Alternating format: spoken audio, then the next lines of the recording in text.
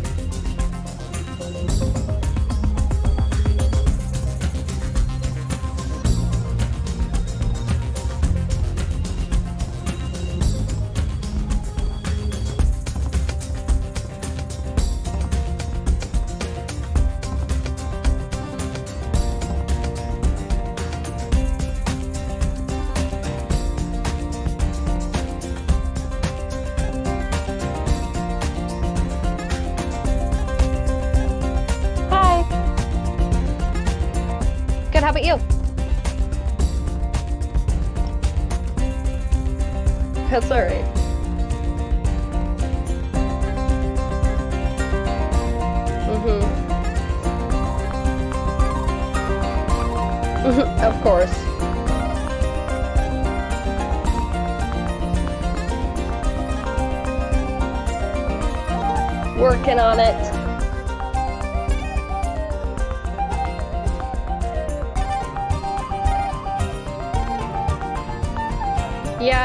like I just have all those papers to electronically fill out.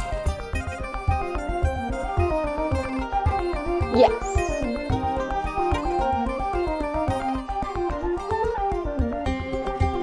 Mm, I haven't had the chance to. I've been really busy with school. I was hoping to get some more done this weekend, but Well, I'm still in high school, so I graduate June 9th and after that, I have a pretty much free summer.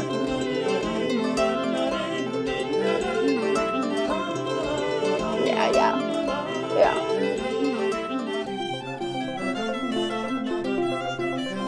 Yeah, that's what you said when you talked to me before. Yes, I am.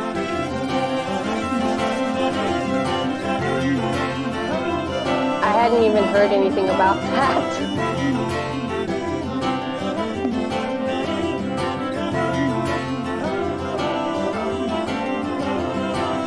Mm-hmm. Hello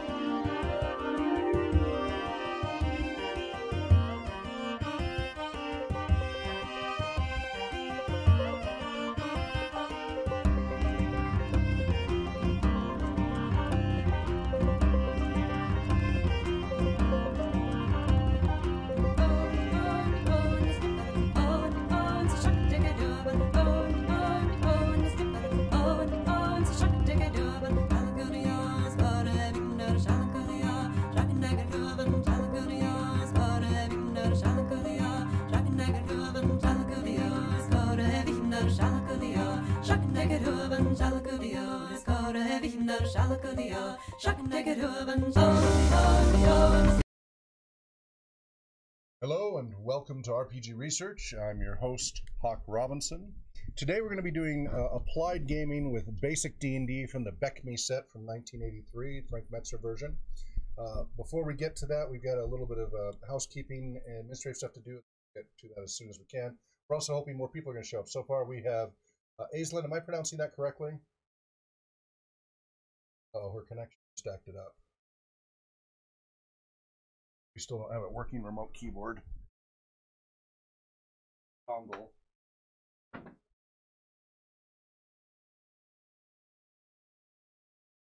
Hello, can you hear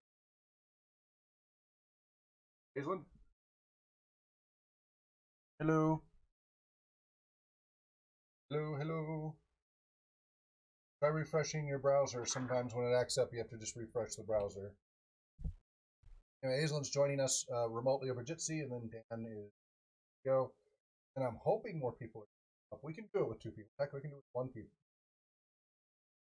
But uh, it's certainly better with group is technically. um, so, and you'll have to excuse me at some point here. I've got to eat characters or something. Had a chance since breakfast. Back to back everything. So, but we will be covering the transition from basic D&D, which is what we've done a couple of sessions with to introduce people to what I argue is the single best introduction to role-playing gaming ever published. It's just so, as far as from a neuroscience perspective and learning perspective, recreation therapy perspective, and just a general recreation perspective, for an introduction, not ongoing use. ongoing use, these manuals are very problematic but for an introductory game of somebody who's never played, has no mentors, no peers, wants to try out this role playing game thing by themselves and then bring in friends by themselves. I have yet to find a better, and I'm, I'm hoping I'll find something better. We've been posting videos and trying to get more info on that, see if anything else says better. People said the Chaosium one, and uh, nope. It, it is a good introduction, but it still front end loads of rules. It has great examples of character making not playing the game by page three or four. Hmm. These you are playing the game. Um, so there is now supposedly there's a new basic D fifth edition coming soon, and supposedly it will walk you through the character generation. Else, that's still not the best way to do it. It's more important to get them playing the game and then learn character generation between or as they go, than to learn character generation first and then play the game. From a, a science perspective. So it sounds like the fifth edition one is going to do the front end loading of the rules, which we keep telling people now. And then maybe as a good introduction, we don't know. As soon as it's available. Now, what's interesting, according to John Walker, it's going to come out at Target first, and then to the general public, like Amazon stuff, in September, August, September. That's weird, and I wonder if it's the Hasbro gaming specifically. They've been Yeah. kind of Hasbro Gaming's been kind of doing more of their own thing separate from WotC, which makes me wonder if WotC is going to be on the Hmm. ever since I saw the um, the intro set for uh, Stranger Things, that says Hasbro Gaming. It also says WotC, but it says Hasbro Gaming. Uh, Aislinn, are you doing any better there on your connection? Hello, hello. Try I'm gonna try refreshing your browser. I'm gonna try kicking out. See if that.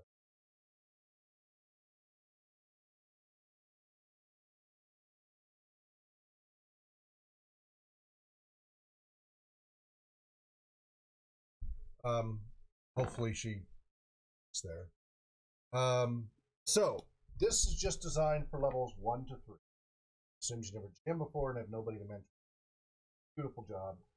Play player's manual. You play three solo adventures. Character creation. Welcome back, Aislinn. Yeah, Yeah. So I was watching you on YouTube. Okay. So um, if your connection acts up, uh, sometimes you have to refresh the browser. Just so you know. Um, but uh, so this is basically now. Am I pronouncing your name correctly, Aislinn? Yeah, Is there a preferred way you, you like it? no, you're saying it right. Okay. You can just call me Lynn if you prefer, though. Well, it's whatever you prefer. Uh, I'm happy to go with. As long as you're okay with that, I'm happy to use it. If you prefer Lynn, I'll use Lynn. If you prefer Aislinn, I'll use no, I Aislinn. prefer Aislinn. Great. Yeah. We will use Aislinn then. I just want to make sure. right, thank you. Because like the Yeah. Japanese Japanese version would be Iceland or you know something like that because AI is I. Mm-hmm. Okay, No, excellent. it's Okay, Irish, so Excellent. you got it right. yeah, my mother my mother's Irish. Her her maiden name's Ivers. Her mother's name was Mar. Um, and then the, my dad jokes that I'm more more uh, Viking than Irish because Ivers came from Ivars a thousand years ago, where they invaded Ireland in County Mayo, and then Yeah. settled in a thousand years ago, so it became Irish. But um, but Yeah. that's why I'm six seven. so I, I get my, my dad who's Finnish, right? He's all Finnish, and so he's like, "No, you're more. We, we invaded Ireland so many times. I'm like the Finns didn't invade that much. The Norwegians did, not so much the Finns. You guys were all farmers. Don't don't give me that. But anyway, good knife fighters, not really good uh, Vikings. So anyway, um, uh, so you have played the old 1983 Frank Mentzer basic set. You said right? it was the first one I played as a child, but that was when I was eight years old. So That's fine. That's fine. That's Been a fine. little bit. Well, and, and that's the point, though, is it is very accessible. And Yes, so is. we've been doing a couple of sessions on how I argue this is the best introductory to role playing game. Just so yeah, well it's pretty structured. good. Yeah, I, I haven't found anything better in the way it's structured to teach role playing game. Now, but it Yeah. breaks down on regular use. Like if you want to, the, referencing it and everything else gets problematic. It's not from that perspective. It's not good for long term game especially when you get into the other books. Now you got to flip through like nine books and everything between companion and masters and blah blah blah. So then you switch to Rules Cyclopedia, which is you know put everything from basic through masters together in one book, better organized. This is for people who've already been playing. This is not actually the best way to start. Never played before? Don't start with the Rules Cyclopedia. Um, Yeah. The the the basic D and D is available as PDF from DriveThruRPG and others. You can go buy the PDFs. They're they're five dollars each, four ninety nine. They don't have print on demand, unfortunately. I really wish they'd get on the ball with that. But you can get the PDFs and learn very easily. I can't recommend a better introduction. Now, as I was Mhm. telling uh, Dan, sounds like they're coming out with a new basic D and D intro for fifth edition box set in June, available only at Target initially, and then a couple months later to the general public, which is unusual. Target. Yeah, Hmm. that's a very different release cycle than they usually.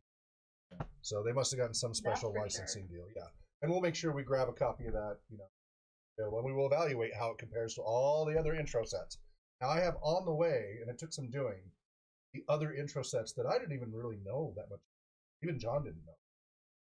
When Rules Cyclopedia came out, there was at the same time a box set that said the new Easy to Master D box set in 91. They came out the same time. Never knew about that. John didn't know that. 94, they had the new D&D Adventures intro. 99, they had another new intro one. And uh, and like one of them I can't even get because it's like $700. It's collector's item. Uh, and then fourth edition had had their D&D Essentials. And that's what this new fifth edition is supposed to be, D&D Essentials, but a little differently. But D&D fourth edition Essentials, uh, some people were afraid it was a D&D 4.5, and it kind of was was a lot of rules fixes and tweaks, Mhm. but it was backwards compatible on like 3.5 to 3.5 problems there. 3.5 was an overhaul, so it was more of like a Mhm. 4.25 or something. D&D Essentials for fourth edition. Did you play through that? Did you get to experience that? Which one? The Sorry, you just said a lot of things. yeah, I know fourth edition D&D Essentials. I think so. Okay, I have played a lot of things. well you're in good company if you played a lot of role playing games. Yeah, I figured. Um, so we now the way we're doing this is we're not doing the full adventures and all of that. We're doing snippets to expose you to each of these. One of the things is we're trying to evaluate. So right now in our tier one offerings where we offer games to the community and in doing our research, we've got a list of games that we've standardized on because you want to do research, you want to control as many variables as possible. And if you want to train people professionally, and and rep- have a repeatable quality of service in the community settings and in professional settings standardized means you got to pick which game systems you're going to offer how they're going to be offered etc and so we have different tier levels and so tier one we have dungeons and dragons fifth edition BECMI one ring role playing game adventures in middle earth uh, doctor who role playing game uh, and no thank you evil and then we're evaluating superhero games um, so like between right now between BECMI and D and D, D and D Fifth Edition, very very popular, right? It's the hot popular game, Yeah. but it's it's even though they really simplify the rules from third and fourth edition and such, it's still not really the best introduction I role playing game.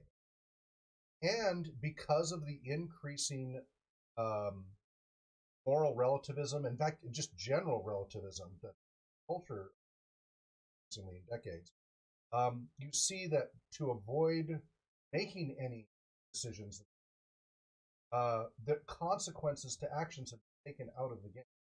There's mechanical consequences, but there's no, there's nothing to really reinforce heroic play. You have to do story, and for regular populations, that's not a problem, not a problem at all. But we work with a lot of at-risk populations, incarcerated populations, and they need clearly defined parameters of how to they don't have that, right? Their their moral compass, everything else is all over the place. They come from abusive environments, all these and neglect, everything else. They don't get this guide guidance, and they they crave it, they desperately want it. They just want to know how they're supposed to get along in society so they can function. And you know, we're running these programs at alternative schools and such, and it's going really well. But one of the things we look for is behavior modification built into the role playing game, encourage heroic play, as opposed to just yeah, you can play any way you want. Fortunately, with fifth edition, there's nothing really built into the rules anymore. Taking it all out, there's no real consequences to alignment. There's some class alignment, but even that, like paladins having so much flexibility now. And again, for regular populations, this is not a problem. This is this is just a problem for at risk and, and special needs and such great to experiment. You can play evil characters, all that, and research shows there's lots of benefits to that. But just exploring through life, role playing is a great way to do. It. But when we have to work with, so tier one is meant to be the more most accessible games that can be used at the widest audience possible. So probably the widest one is no thank you. Yeah. Right. It starts ages five on up. So it's the number one of our tier one offerings. Everybody can play it. Then what's the next one? I it's not D and D fifth edition. It's still tier one mm-hmm. because it, it is very flexible and accessible, etc. But I'm really leaning towards us switching our introductory sessions at all of our uh, settings from fifth edition to BECMI. But I don't want to do this unilaterally, right? I've, I've been doing this for so long, and I've just I just kind of like, well, I've been doing it, and here's my gut, and it was just me. But as we've grown as a community, I really want to. I value everybody else's input, and don't want to make these decisions. I'm president and chair. I can if I want. Just go. This is the way it is. But Yeah. that's not how I like to do things. I like to work cooperatively, consensus building, etc. Rule zero corollary of Dungeon Master. You know, rule zero, dungeon master is always right. Corollary: don't have a don't have a group, you can't play the game. Yeah, exactly. you got to learn to get along. Yeah. So, um, and I'm not hundred percent because BECMI has some shortcomings with its mechanics, right? D and fifth edition mechanics are pretty good. They're certainly more streamlined than the BECMI style. Um, so, so I'm, I, I haven't been able to pull the trigger on this, and so I figured the best way is let everybody. Most of you have not played it. Now, Aislinn played a little bit. Um, you had not previously played this. No. Most of the group had not previously played it. John had a little bit. I played this all the way through back in the 80s, all the way through Immortals, uh, and really enjoyed it. I also did first edition and all the others too. I, I was running three groups a weekend, two on Saturdays, one on Sundays, and I was paid Mhm. um, from 83 onward as a paid game. So I got to experience how awesome it was and how it really walked you through nicely. So what I wanted to do is everybody's going to get eh, snippets of each because there's the different levels that you go through. Mhm. So we did the introductory adventure that's built into the Dungeon Master's Guide of the rulebook. Mhm. And we didn't get very far. You guys kept dying. Yeah. but we went far enough. Now, the introductory adventure, I don't know if you played it, Aislinn, is you leave your town and you go to this little castle, and there's a carrion crawler there, and then there's some kobolds who, you know, try to keep you out, and then there's the keep, and then you do your dungeon crawl. Do you remember that at all? Uh, no, I Okay. don't think that I ever played whatever was in the book. Okay, and that's fine. Um, but it is it is a very good intro because it walks the DM through GMing for the very first time. It, Yeah. the captions to read, everything. The best intro. So now we're so we did that. We played a couple of sessions. Like, okay, you guys got the point. You've got a feel for this, uh, how the basic rules work and, and character uh, and. So now we're going to pretend that you did the rest of the dungeon crawl. we're going to fast forward. We're going to hurry and level up your characters. In your case, Aislinn will whip up a new character. One of the advantages of. BECMI, so this is what's very different about 5th edition that I think is so important uh, uh, versus BECMI. It- it- It's problematic that it's really hard to die in 5th edition compared to BECMI. Yeah. Yeah. So what happens is when you want to do behavior modification, any level, teaching pigeons, teaching children, teaching adults, teaching senior adults, teaching special needs, whoever. The Mhm. closer you compare effect, you know, causality, uh, an action, reaction, Mhm. closer you pair that. So Pavlov's dog, closer you pair the the bell dinging and the meat response to salivate, etc., the more strong the learning will be, and the easier it is to. The the more it's Yeah. spread out, it gets harder and harder to make a correlation between stimulus and response. Yeah. and that's a very simplistic view, but it does apply at a more complex scale. Mhm. So, for example, if you want people to learn to not try to use combat as their solution all the time, having a game system that's really hard to die is not going to help discourage that behavior. Mhm. With Yeah. BECMI, you hit zero hit points, you're dead. Unless you house rule like so when we do AD&D and other things, we love to house rule because we feel it's a little too deadly. So we would say you could go to the neg- you know negative ten was one option from Dragon Magazine, or the negative of your Yeah. Constitution. hmm And so, like, if you had an 18 Constitution, you go to negative 18, and then negative 19, you're dead. And that for an ongoing Yeah. campaign, that works fine. And and if they're non-special needs, that works fine. Yeah. But for people that you want to just quickly introduce and have consequences, good news is, yeah, your character dies easily. We we we ran that adventure like two or three sessions, and one one player only had one hit point Mm-hmm. and survived until the end, right? Until Yeah. the last session. Made it with one hit point. Played very carefully. Wow. knowing they only had one hit point. That's the beauty. The Yeah. other thing that we do, and you need to know this, Aislinn, we roll the stats as they fall. So it's Okay. 3d6 rolled in order. That's how you were born. Now you got to make the best of what you have. All right. Now, if everything's below nine, okay, and it even says in the rules, if everything's below nine, re-roll. Yeah. But as Yeah. long as as long as you have at least one halfway decent stat, like a twelve or thirteen, and everything Yep. else, you know, and only one or two or you know, so so below nine, or three below nine, you're supposed to still play the character. And you don't get to you only get to pick what you qualify for, right? You got to have a minimum of a nine stat to play whatever class you want to play in that prime stat, right? If it's fighter, it's strength. If it's Yeah. it's dexterity. So you're you're you have to play with the cards you're dealt. Now this is very very different from fifth edition, where you can make anything you want. Now generally when we're introducing people, it doesn't matter because they're doing pre-gens. Yeah. And but the nice thing, because it takes so long to make a fifth edition character, again, much better than third and fourth edition. Nothing compared to Rolemaster, but but it does take a while to fully make a fifth edition character properly. Yeah. Back Yeah. me, it takes 15 minutes to roll up your character, and then another 15 minutes just picking equipment to the first time you do it. After your character dies, it typically takes 15 minutes total for somebody to make a second character. And Yeah. they typically start to play very differently after their character dies the first time. Because they go, oh, my character died. I don't get a new life. I don't get a res. Oh, I, I better play a little differently. And what do you know? They learn very quickly. Uh, it is a very different style of play. It changes how people play. Uh, Yeah. One of the complaints with people, a lot of DMs have is too many murder hobos. People want to change the terminology. Murder enthusiast, whatever. But Homicide connoisseurs. crazy killers, whatever. I don't know. Um, but the problem is, fifth edition doesn't really discourage that. Yeah. right? But Which kind of sucks. well, it's it's problematic. So you got to enforce it through the story, which again, with regular populations isn't a problem. But if you always have to six stormtroopers, I'm going to mix Star Wars here. There's nothing in Star Mhm. Wars to force you to play light side or dark side. yeah. Some people choose dark side because they like the cool force features of dark side. And there's Mhm. only story consequences. And again, general population, that's fine. But for special needs populations, they don't know where those boundaries are. So BECMI still, even though it doesn't have as detailed an alignment system as Advanced Edition, Advanced Edition had nine different alignments: lawful good, lawful evil, good, etc., etc. Basic only has three alignments: lawful, chaotic, and neutral. Lawful Yeah. was basically meant to be good. Chaotic was basically meant to be evil. But then they also say chaotic doesn't mean you're evil.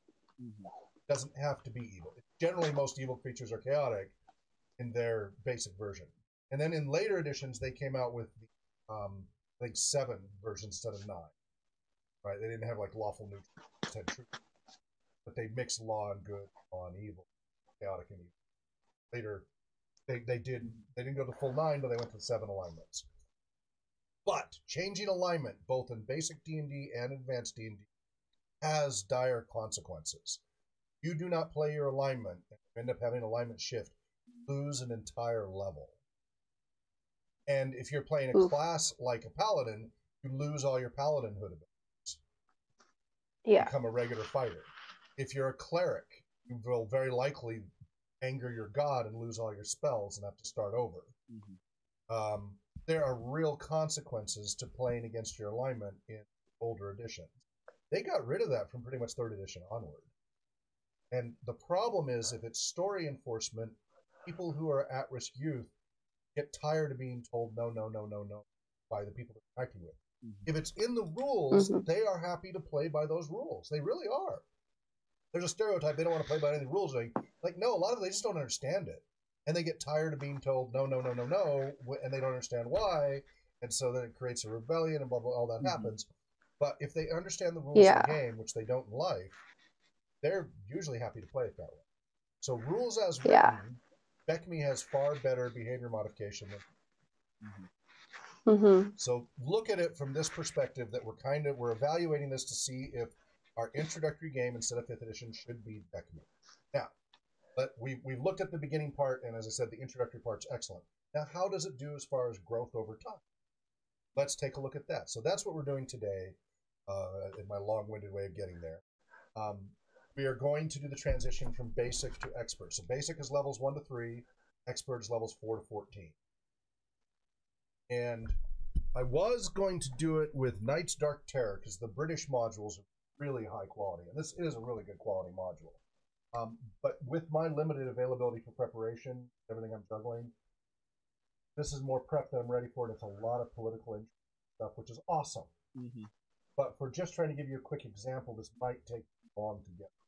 This has awesome maps and tapestry clues and counters, and it's a it's a it, it, it is an interesting B10. Yeah. It's, it's a special basic to expert transition mod- module for levels two to four, specifically designed for that. And it, it is, of course, in the Dean, the basic D and D setting, Grand Duchy of Karameikos, which I have here, which all of the rules go into with the expert onward, they focus setting. However, the default that came with the expert set, which maybe makes more sense to do, is the classic X1 Isle of Dread. See the dinosaur? Woohoo! Dinosaurs! Ah! um, so I think we're going to jump into this. Now, I, I have not run this in years and years and years. And because I made a last minute decision to change, I'm going to be prepping on the fly. That's part of the point of what we're evaluating. We're evaluating how much time and energy and effort does it take to throw together an adventure with these different versions because we want it to be the quickest possible play. We want people to get playing as quickly as possible. So that is what we're going to go with today. So we'll read a few things. We give you a little bit of flavor. Then we'll go ahead. Uh, Hazel will whip up your character, and then Daniel upgrade Okay. yours.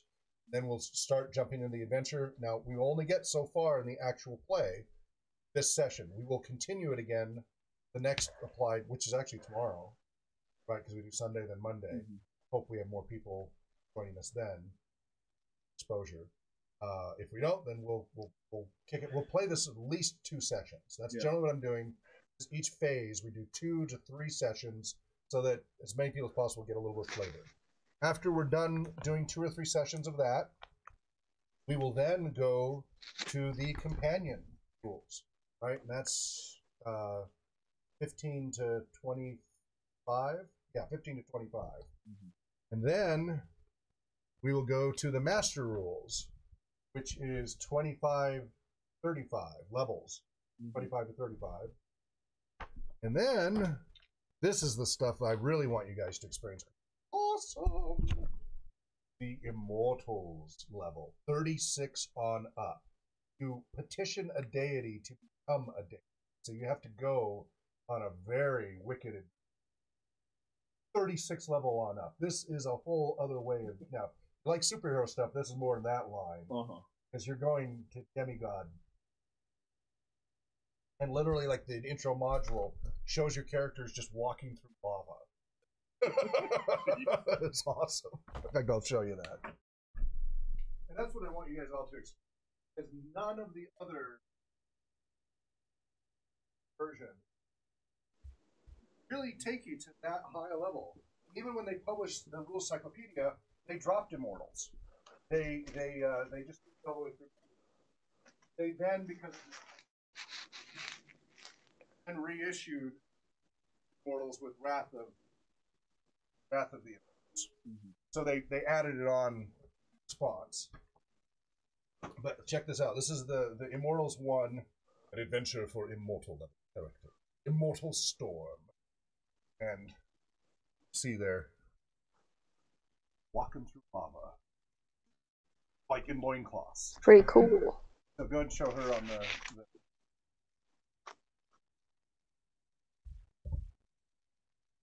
So that's I don't have wanna my get everybody- video on. What's, what's that? I don't have my video on or anything, so I can't see anything Oh, you show me. I don't anything. think. Okay. All right. Well, mind. Yeah, That's sorry. off, I, I just saw it on your YouTube. There we go. good. As long as you see it on YouTube, that's fine. Yeah. that, that, that's just. Uh, Yeah. Uh, It's just red fire water, oh no no no! That, that's that's. chili. they're, they're, they're waiting through shit. So apparently she can. She's watching delayed on YouTube, so Okay. that, that's fine. All right. Yeah, I check in like, every couple of times when I think I need to see something. Okay. Good. Good. All right. Mind you, it's very hot chili, Muy caliente. but obviously it's it's it's it's, it's you know the- it's truly divine chili because everyone's there. All right. So first of all, Aislinn, do you have a character sheet? Uh, no, not in front of me, but I can write one out super easily. Yes, you can. So get I- a, get a piece Yeah, of paper and a paper, pencil. pencil, everything in front of me. Excellent. And we're gonna trust Dice, we're gonna trust you on the dice rolls. We don't use roll twenty or any of that. If you had a webcam, Okay. we'd have you we'd just watch you roll the dice. Um, but it's I'm on my phone, so I think I can turn it on. Oh, well, okay, hang on. Uh, make sure you are on audio only mode right phone. And are you where you can use Wi-Fi instead of your cellular service? Yes. Are you using the Wi-Fi? No, but I can use it easily. Switch over because Jitsi will suck up a lot of your data. Okay. Yeah, I just switched over. Oh, that was that was smooth. You didn't even Yeah, I'm just sitting in my house. I just Okay. hadn't chosen Wi-Fi. Yeah, use always use the Wi-Fi when you're streaming. Now, if you want, you can use the video if you want. Okay, give me a second, Great. and I'll switch over. Great. Um, we can get these out the way.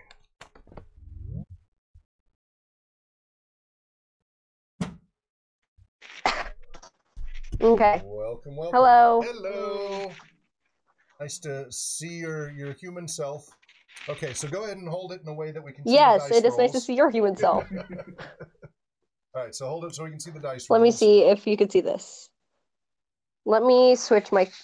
I don't think I can switch my camera around. So here, I will hold it awkwardly, Yeah, sorry. and I can roll on, just straight on this piece of paper. Whatever works for you. But you're gonna write them Yeah. down in order. You're Okay. gonna need three d six. Yeah, and I'll just roll. I have one d6 that I will roll Okay. three, three times. That's a three, two, three. Okay. Did you see that? Yeah, I saw. it, Yep. So just just write give them me a down as you second. go. So this is how we do it without using Roll Twenty or any of these other things. It's software. Experience has been as great as their products are. They they tend to interfere the long run with immersion levels. Six, nice, Another six nice. and a two. All right, good. Write it down. 14. Right? Correct. She already has a higher stat than me. Right. That isn't difficult. Oh, Goodness, I'm gonna yeah, that's down- true. I'm gonna wolf down some food. Sorry, everybody. That's a three, a four, and a six. Mhm. 13, That stat is higher than mine. Anything I a have. one. That failed. A two.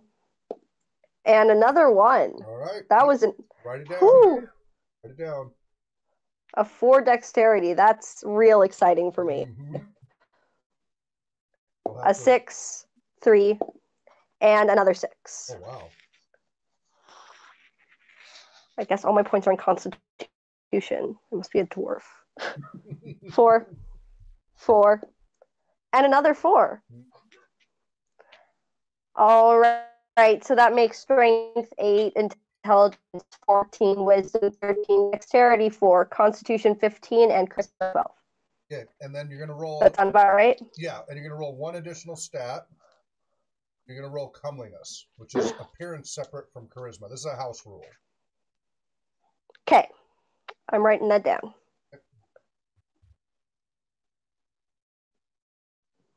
I only have a vague idea of how to spell that, so it's probably spelled wrong. That's a six, six, and a one. Uh, CMS is the abbreviation. 13.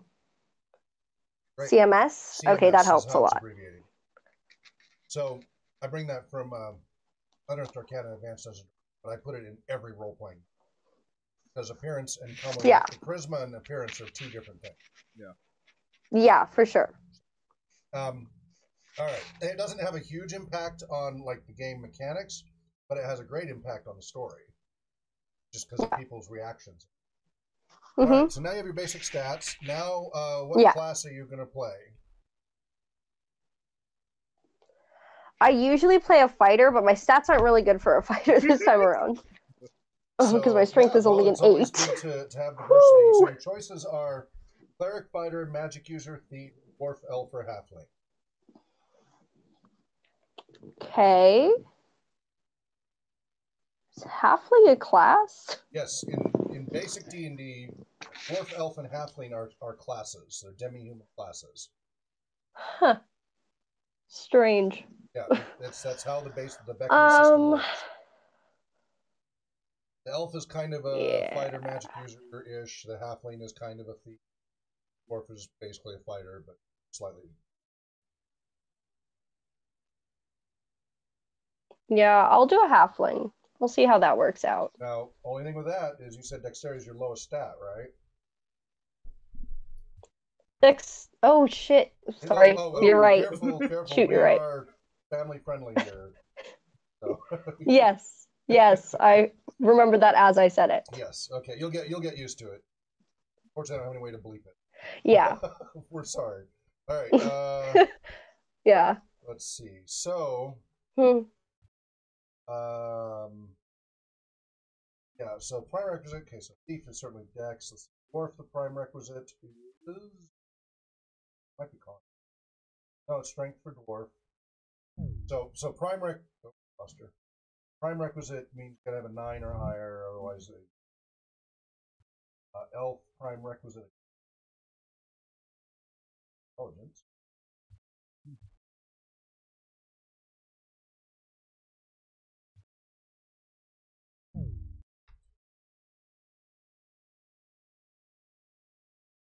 Turn off your Azon. Turn off your video. Just go ahead and go without video now. Go ahead and go without video because you're you're having too many problems. All we need is to see those initial rolls. We'll trust you on the rest.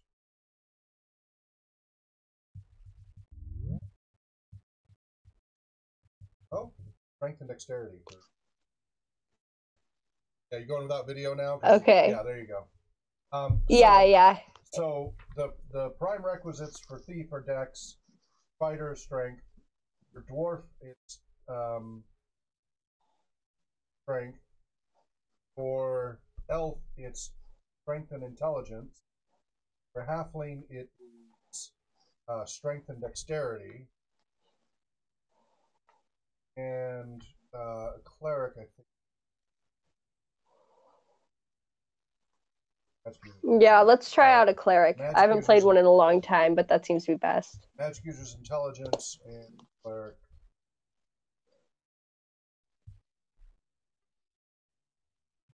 Yeah. Stick with cleric.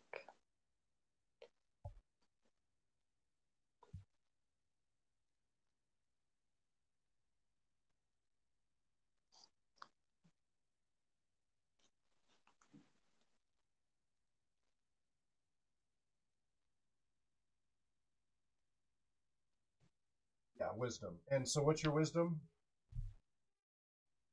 Thirteen. Okay, if your wisdom is 13 or more, you gain uh, bonus experience points earned adventure. Now, what is your highest stat? Constitution? Yeah. Fifteen. A Constitution. Okay. Uh, down the road. So, in expert version, the, the stat bonuses are pretty limited. When you get to Mhm. the companion and master's level, they start bringing in stats have more saving. It's kind of limited. Yeah. early. All right, so you're going with cleric. So that is a six-sided hit die. So roll a d6. We'll trust you on it. Five. All right, so you got five hit points for first level. Now we're going to assume, let's see, 5,000 XP.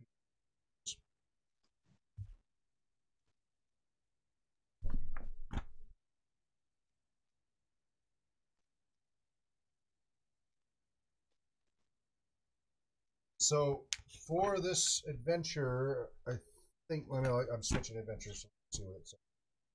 The other one said everybody starts at five p.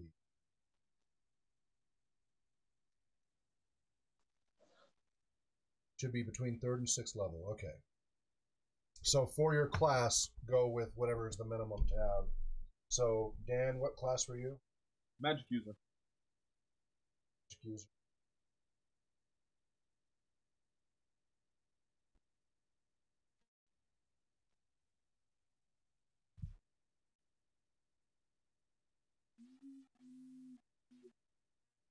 Level. Make you fourth level for. So, so let's go fourth level for both of you. Okay. Uh, you have ten thousand experience. Your cleric is so fourth level. You're a vicar. Six thousand experience. Title, by the way. No, magician. You fifth level. You can be Tim. Python. Some call me Tim. So uh, yeah, so uh, fourth level cleric, six thousand XP. Title is vicar. So the different levels have different titles, which is something I like from the a lot of the new games. The first level is acolyte. yeah. Second level is adept. Third... All right. Do you Okay. do you have access to any of these rules, Aislinn? Mm, maybe. Legal Probably. access. Not. okay. All right. So I'll have Probably be, not. so I'll, I'll, I'll probably have uh, you and Dan kind of share. Got multiple copies of it. hmm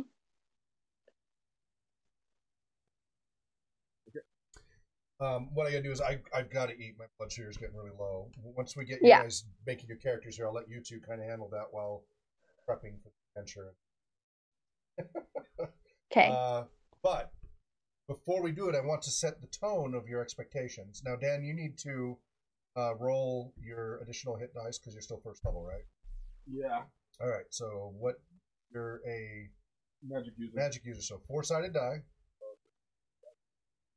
Some of the nice fancy metal ones. Okay. Thanks to um, Dots RPG. It's high quality from Die Hard Dice. These are nice. We will test how hard it is for me. Do not step on the four sided. It hurts.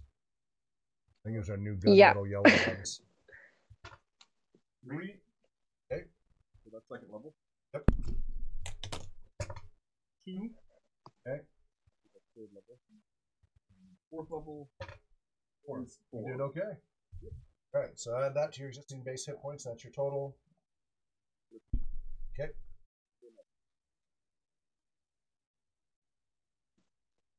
How did I get seven hit points per? Are you sure you didn't level up? I think I knew. All right, but so I think that was the third level. third? Yeah. All right, so then just add, add the last roll then. Right now, when you level up. Important.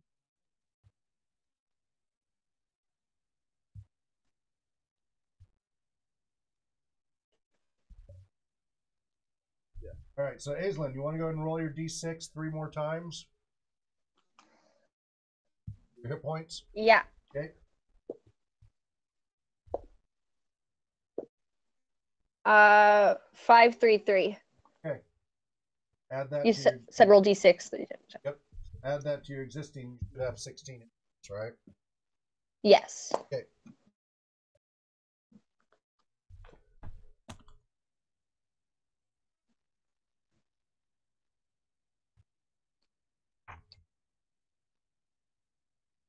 All right.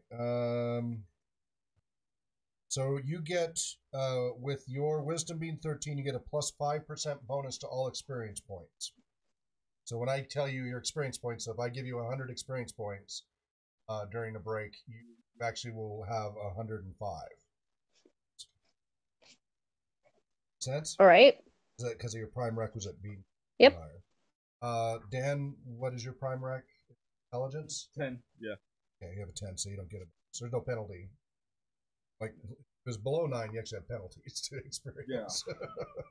like having a low stat isn't bad enough for your prime rec isn't bad enough as it is. All right. Um, so cleric, uh, you also have the ability to turn undead in addition to various spells, Oh. and of course you will have saving throws. Mm-hmm. So make sure you have little sections for that, and we'll give you the different numbers for those in a little bit. Um, you're also going to let's let's roll your money for roll three d six, and this will determine how much gold you started out with to yourself. Three, three, one. Okay, so you have seventy gold to start out with your basic equipment. I will give you more after you get your basic equipment, but it's just a good starting point to kind of think in a Yeah. limited mode, and then we'll we'll give you more as you need. And so we'll have to figure out how to get you that equipment at some point. Basically, if you just kind of think of what you want, we can. All right. Um, Yeah. So here's setting the mood of the difference between basic and expert. So I'm going to read quite a bit from the book, but this is Okay. what's really great about this, Mhm. and it, and it sets the tone that is different than other editions. Importantly, by the light of your torch, you have seen the sparkle of coins and gems.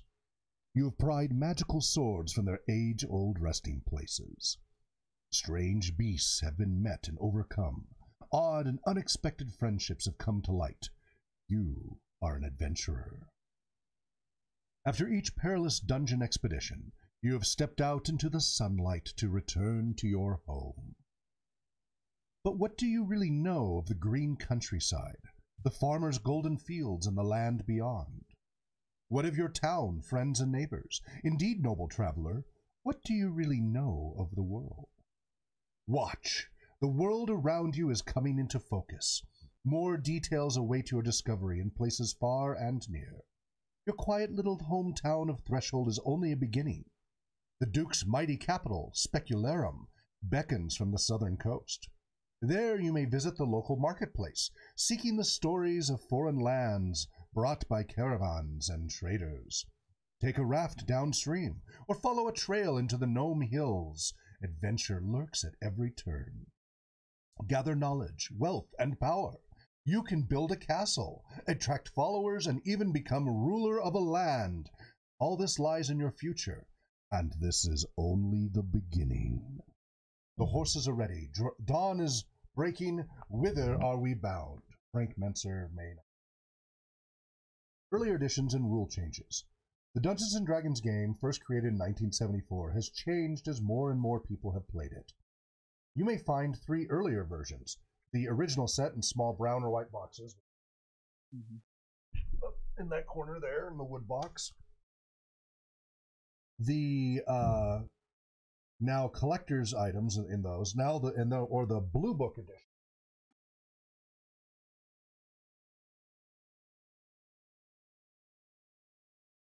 Just hand them to you. Hold up. Uh, or and the red book edition.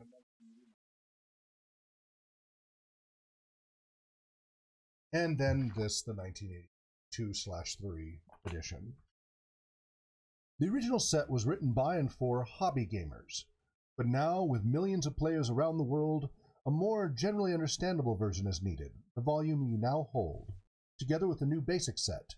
So many changes have occurred since 1973 that the task of explaining all of them would require a booklet of this size, and thus they are not included here. Use these rules. This is the this, this is the expert. Got it right there. Book is 64 pages.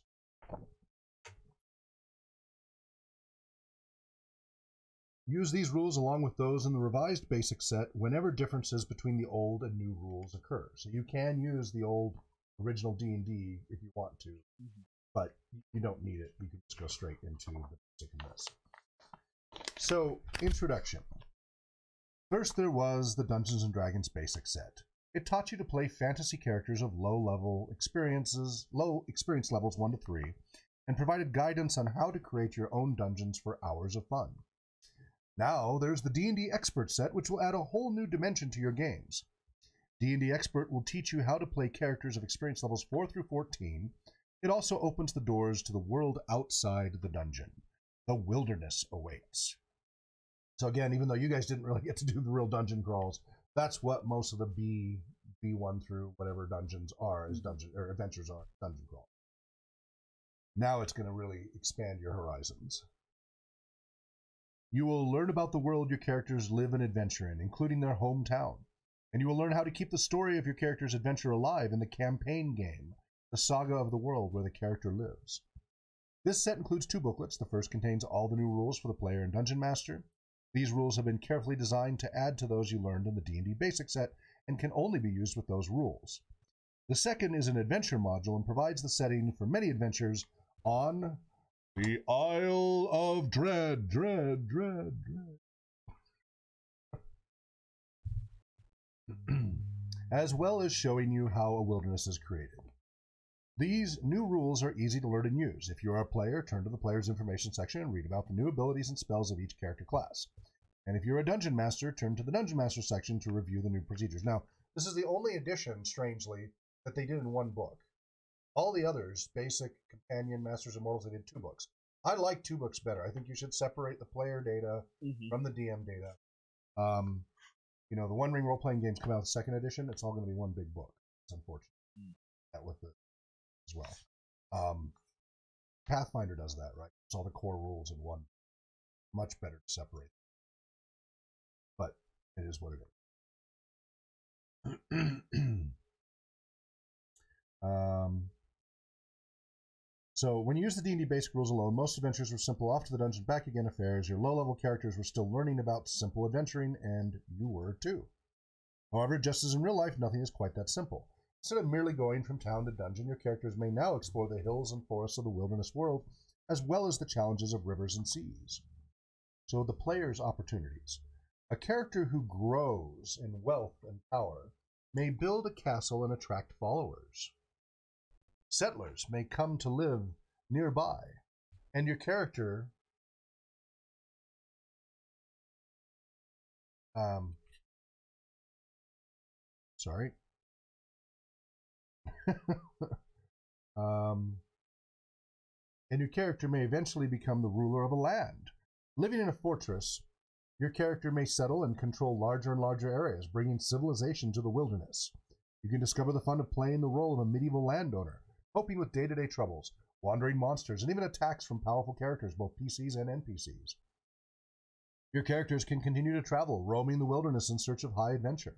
In dungeons, many new monsters and treasures await your arrival. Castle owners may invite you in for a splendid banquet, followed by stories and rumors of great dangers and fabulous treasures. Or perhaps they will not look upon your arrival with kindness. Whichever route you choose, you will discover the excitement and intrigue in dealing with the great wide world. Things are happening elsewhere in the lands, and some events may affect your characters, such as weather, war, and politics. The characters may, in turn, affect the course of events. Many storylines may be developing at the same time, just like in a fantasy novel. Your DM will consider the greater forces of nations and rulers and combine this flow of history with the lesser forces of the actions of your characters. Logical results may create unexpected situations, often surprising the DM. Love about it. Mhm. In this way, everyone contributes to the development of the fantasy world.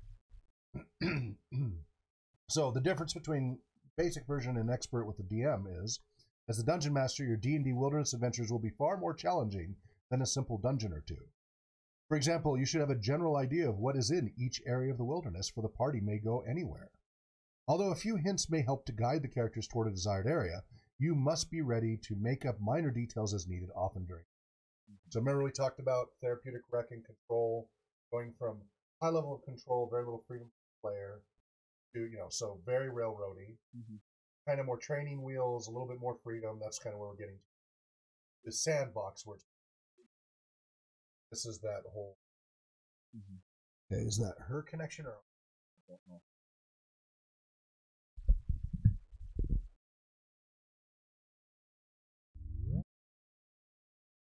Fine. Reset the network. I reset it this morning. Set it up.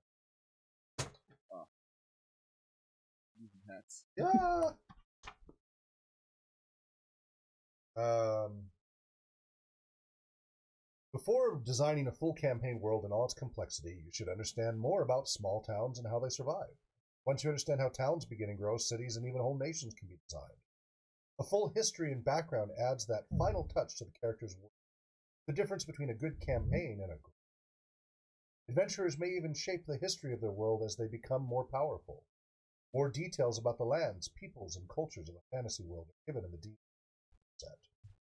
Campaign is limited only by the creativity of the dungeon master and.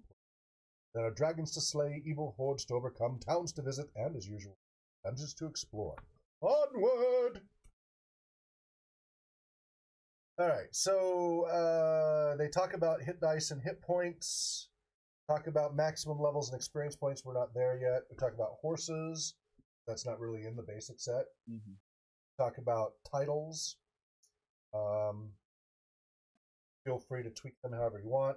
Talk about rememorizing spells, burst spells. So some spells may reverse. That's fairly a new. Hmm. The cure light wounds, cause light, etc. a cleric. So this is important for you. May reverse a spell simply by casting it backward. The Player simply says, "My cleric is casting the spell in reverse." However, Lawful clerics prefer the normal spells and only cast the reversed forms in life or death situations.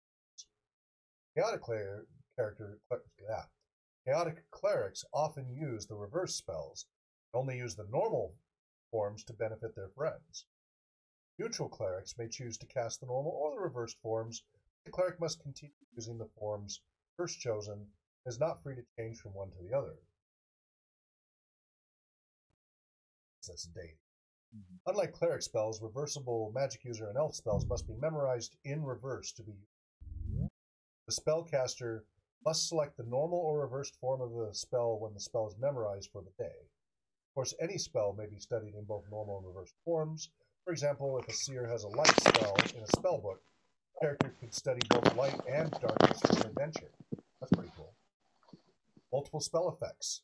Yeah. Rolls, damn it. Hello. You have a question? No, Okay.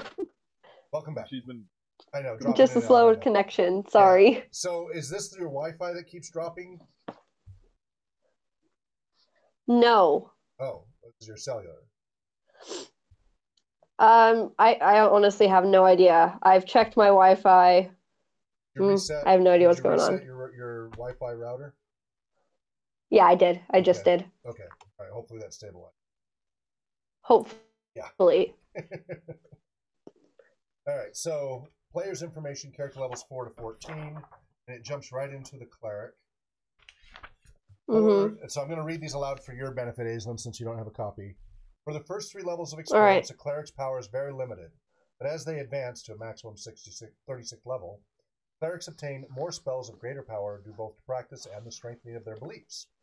It is very important for clerics to be faithful to their beliefs. Cleric behaves in a manner that does not fit the character's alignment or beliefs. Cleric may be punished by the church for even greater powers. This punishment could, for example, be a penalty on hit roll, a dangerous quest that must be completed, or even a lack of spells. Your DM will tell you what the character must do to recover good standing. When a cleric reaches name Mhm. level, a castle may be built. Cleric has never been punished for misbehavior. Cleric's church may help with the cost. Some followers may come to assist and serve Ooh. the cleric. Your DM will help with the details. So, what alignment do you want to be for in lawful, chaotic, and neutral? You need a description of those? Probably lawful. Okay, I, re- I recommend that. What did you go with, Dan? um lawful. All right. awesome. uh, let's see if they.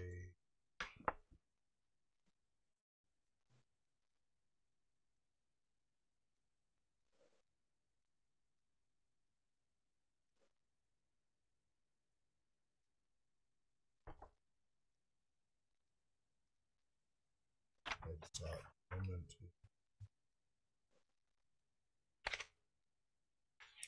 So just because the concept of alignment has kind of changed between D and D versions, I'm going to reread them for your benefit. All right. Thank you. Um, They, they do they are slightly different, but like AD and D, this version of D and D, and some of the other. So.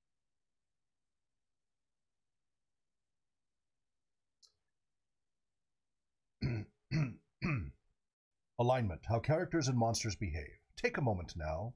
Think about how your character behaved. This is from the, the solo adventure. Mm-hmm.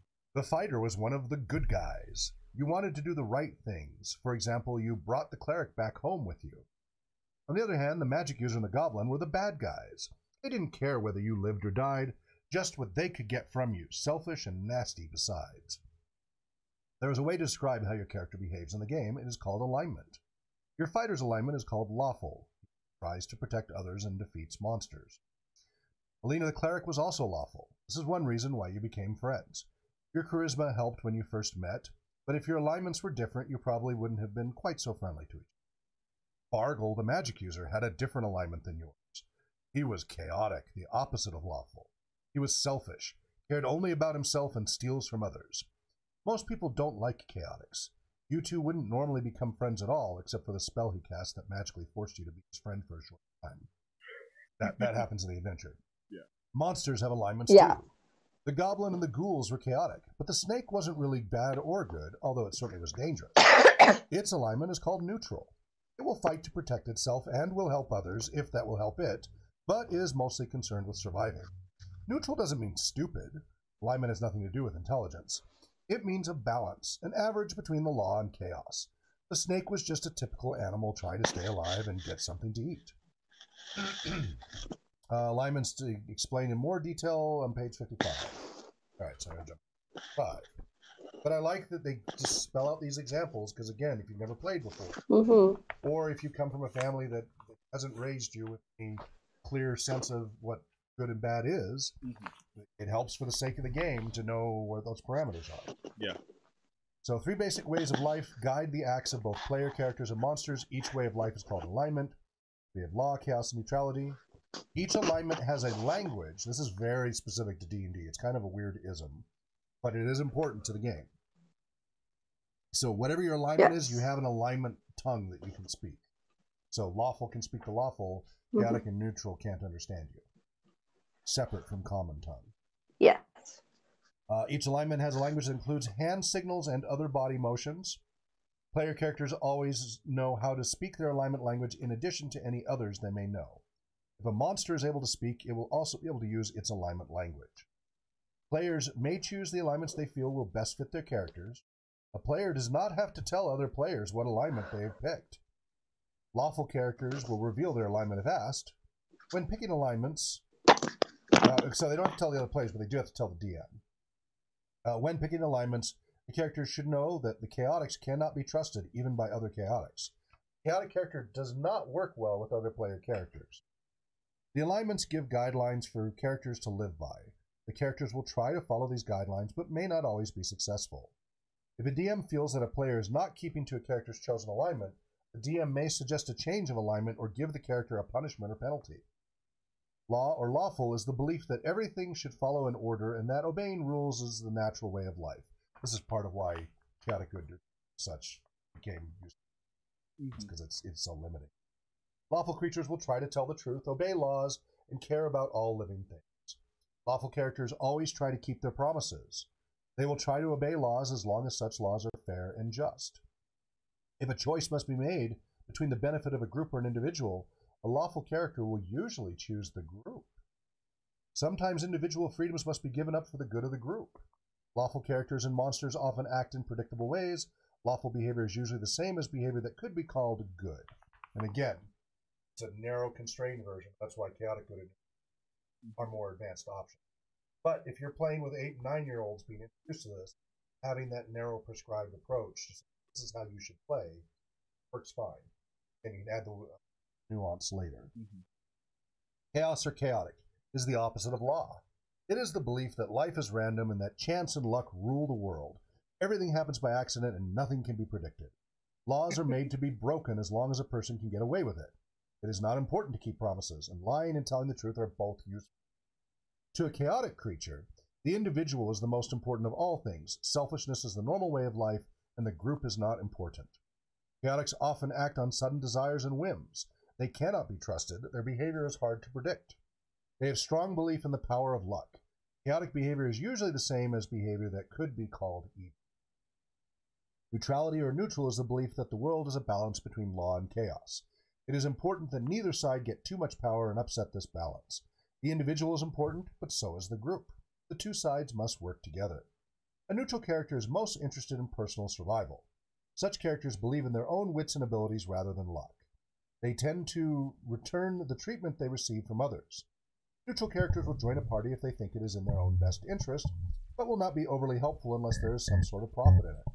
Neutral character behavior may be considered good or evil or neither, depending on the situation. So, um, example of alignment behavior. The situation. A group of player characters is attacked by a large number of monsters. Escape is not possible unless the monsters are slowed down. A lawful character will fight to protect the group, whatever the danger. The character will not run away unless the whole group does. A neutral character will fight to protect the group as long as it is reasonably safe to do so. If the danger gets too great, the character will try to save themselves, even at the expense of the party. A chaotic character might fight the monsters or might run away. The character will not care what happens to the rest of the party. Alignment languages. Each alignment has a secret language of passwords, hand signals, and other body motions. Player characters and intelligent monsters will always know their alignment languages. They will always recognize when another alignment language is being spoken, but will not understand it. Alignment languages are not written down, nor may they be learned unless a character changes alignment. When this happens, the character forgets the old alignment language and starts using the new one immediately. It's a very weird D&D. Mhm. Uh, note that playing in alignment does not mean a character must do stupid things. Characters should always act as intelligently as the intelligence score shows, unless there's a reason to act otherwise, such as a magical curse. Any questions on alignment? Can I change mine? What? Can I change my alignment? Nope. You already went with. You already played. She can change hers if she wants to. She hasn't played it. No, Okay. no You wanna change questions, and I don't want to Yeah. change. Because my character is primarily like, I need to survive, I need to survive PTSD, I've, I've buried too many people. You're gonna have to deal with that that push pull. That, Okay. that is a challenge people have to deal with. So okay. deal. Alright. Uh, saving throws. Let's start with the cleric saving throws. So, Aislinn, here's your saving throws that you'll need to know. Death Yes. ray, death ray or poison. You have a nine. Let me know A done. nine? Yes, a nine. So each time you're done writing it down, let me know and I'll read the next one. So death ray and poison is a nine. Yes. So the way the way saving All right, throws then I have it written down. Yeah, the way saving throws work is lower the saving throw, the better, because you want that number.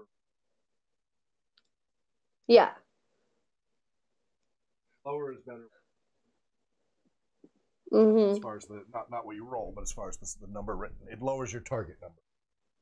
Yes. Yeah.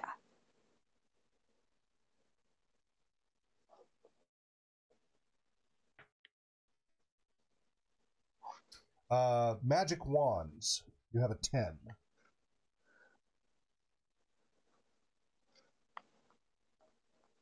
All right. Paralysis or turn to stone.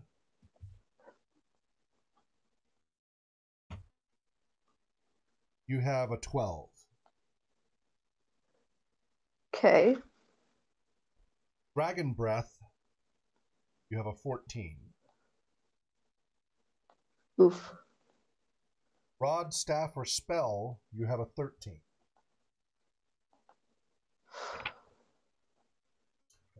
Have your man. So you have a. Okay. All right. Um, spells. Okay. Next is your turning undead abilities. Yes. Actually, Dan, I gotta eat. Would you read uh, page four? Tell her all. So she's fifth level. Mm-hmm. Let's give her all of those. Page four.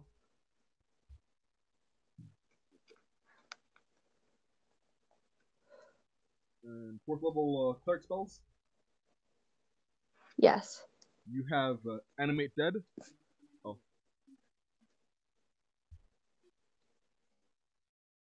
Ah. Oh, okay. So, uh,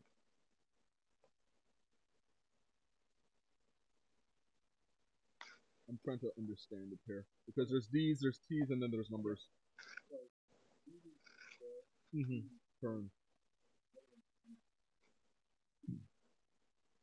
Okay. So. Yeah, but I thought she was fourth level.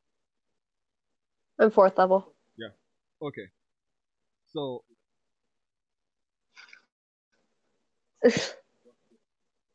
yeah, okay. that's all right. Yeah. Um, zombies, you will immediately turn them. Um, ghoul is a T. Wight is. Oh, sorry. Okay, start from the beginning. Skeleton is D. Okay. Zombie is T. T as in turn. Yeah. Ghoul is T as in turn.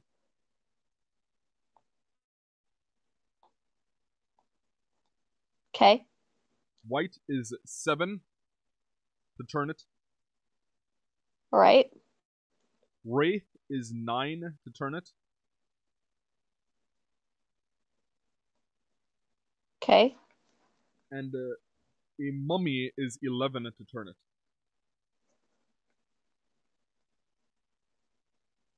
All right.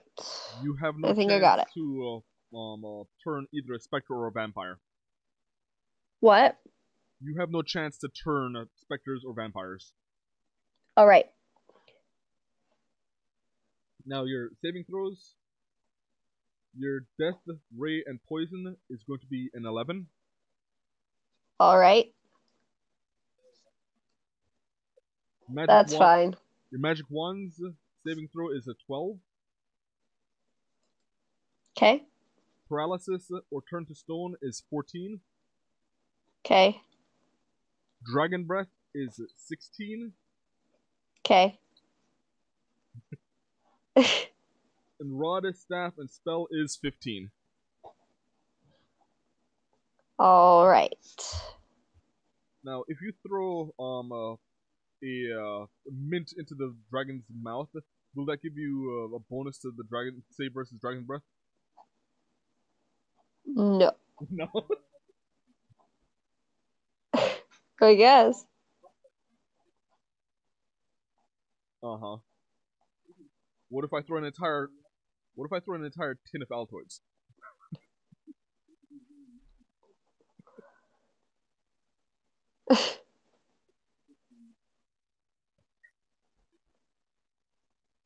Oof. Yeah, great visual.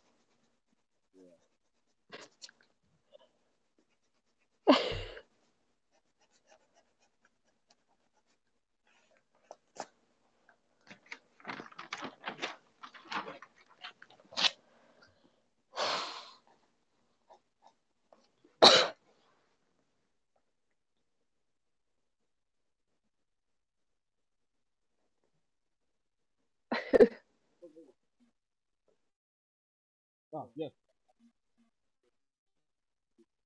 As a Vicar, you can uh, cast Vicar. I, I Picker. used to used to calling it Vicar. I don't know.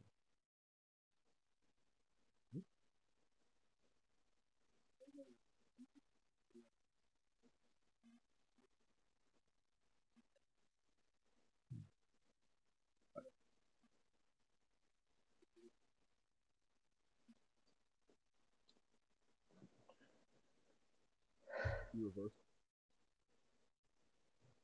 Looks like it. Yeah. So at uh, at fourth level, you can cast uh, two first level spells, Okay. and you can cast one second level spell.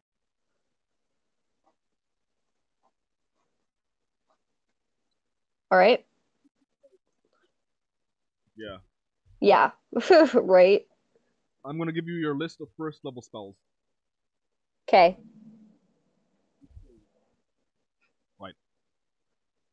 Cure light wounds, and this is reversible. You can put an asterisk beside it. Okay. Detect evil.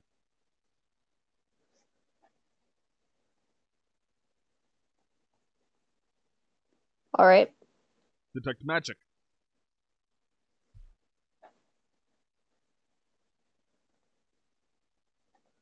Okay. Light, which is reversible.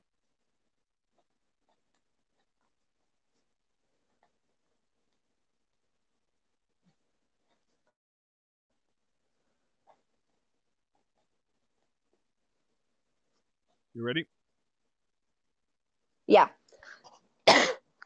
Protection from evil.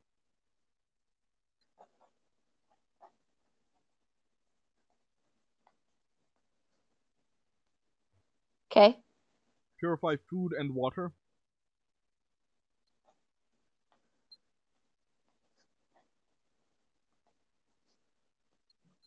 Okay. Remove fear, which is reversible. Remove what? Fear. F E A R. Fear. Okay.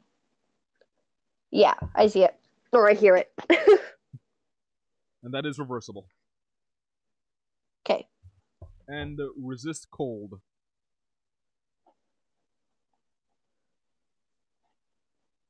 All right. Next, I will be listing your second level spells. Okay. Bless, which is reversible.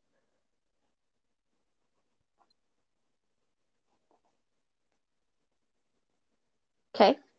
Blinded traps.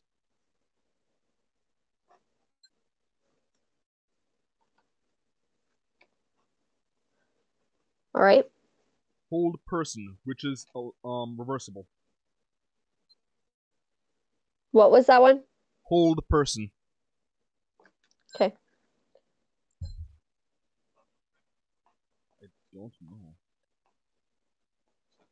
I guess to like release somebody Oh, from something, I guess. Maybe Yeah. like a trap or something. Yeah. Yeah. Yeah. Okay. Know alignment, which is reversible. Oh, okay. yeah, I got that immediately wrong. I'm guessing the no alignment, uh, the reversible is uh, an O alignment. yeah. Oh, it's called confuse Alright. alignment to the, the reverse. hmm Resist fire is next. Okay. Silence, 15 uh, foot radius.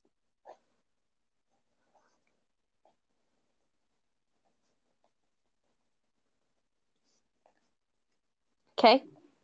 Snake charm.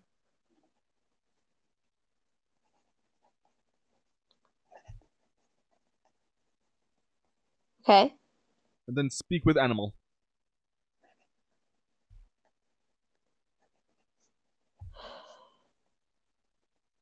All right.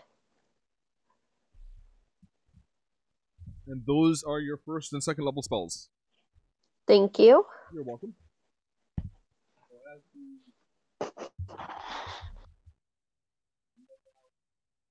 what the adventure will be, then that's the time to pick the spells that you want to start start the adventure. At this point, you don't know what kind of adventure you're going on, so there's no point picking which ones to memorize yet. All right. I've memorized uh, um uh, dig grave. Dig grave, if that were a spell. Oh no, I never said it was a spell. I just memorized how to dig graves. you memorize, memorize the skill. yes. Oh, yeah, man, Isle of Dread. Here you go.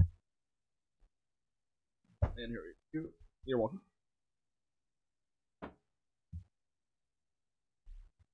Okay, so next, uh, equipment. Want to help her go through the equipment list. So, updated equipment list. Might you might actually start with the basic one first, might as well since start. So in the red book, player's manual, section for equipment.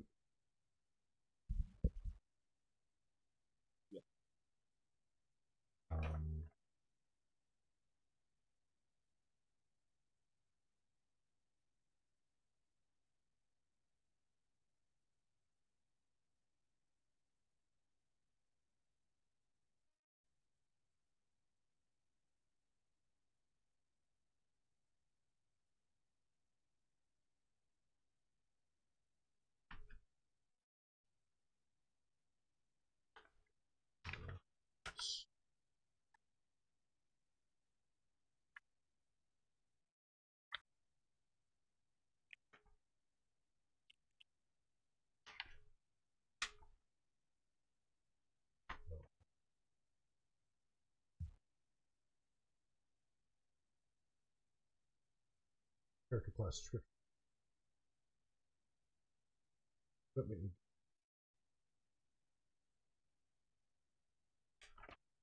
Pull out. I think it was actually like.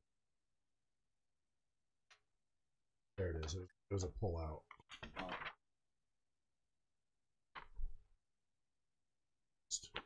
Same page twenty nine? Page twenty nine. I have a page Are you- but Oh, you. That's the DM's guide, player's manual. oh, well, it helps be in the right book. It says oh, player's Okay. manual. the, the, the pictures were exactly the same. They are exactly. the same. Now you got equipment. So why don't you keep in mind clerics have the weird D&Dism of they can't use weapons that draw blood, so they can use blunt weapons. Other than that, they can use any blunt weapons. So with that in mind, Aislinn, do you have a preference? Like, go ahead and list the blunt weapons there, Dan. Pick from. They have asterisks by them. Spike. Ah, okay.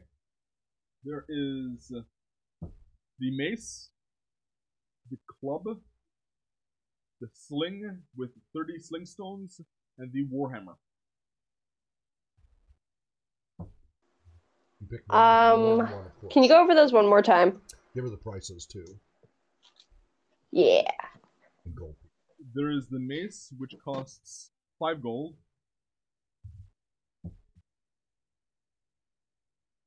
Okay. There's the club, which costs 3 gold, Okay. unless it's got a velvet rope.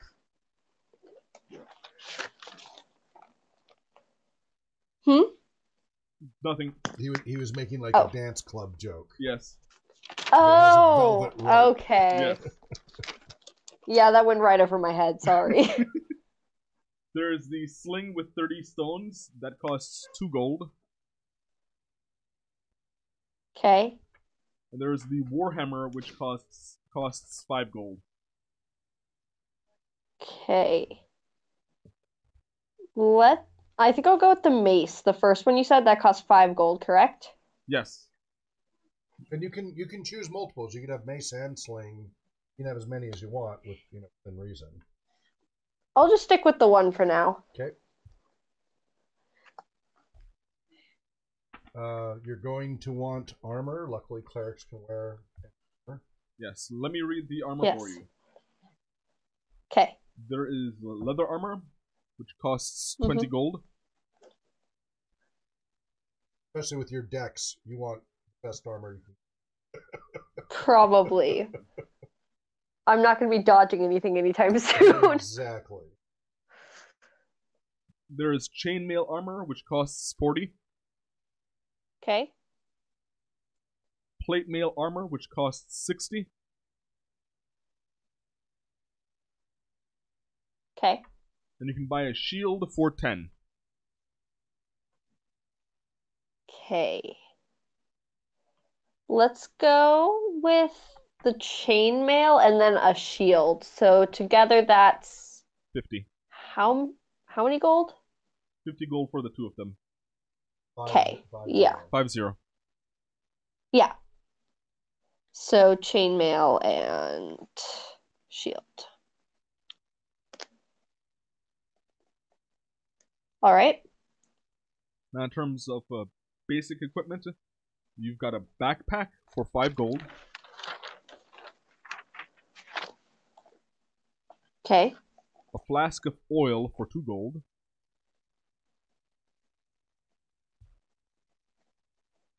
All right. a holy symbol for 25 gold, Okay. a vial of holy water for 25 gold, Okay. a lantern for 10 gold, Okay.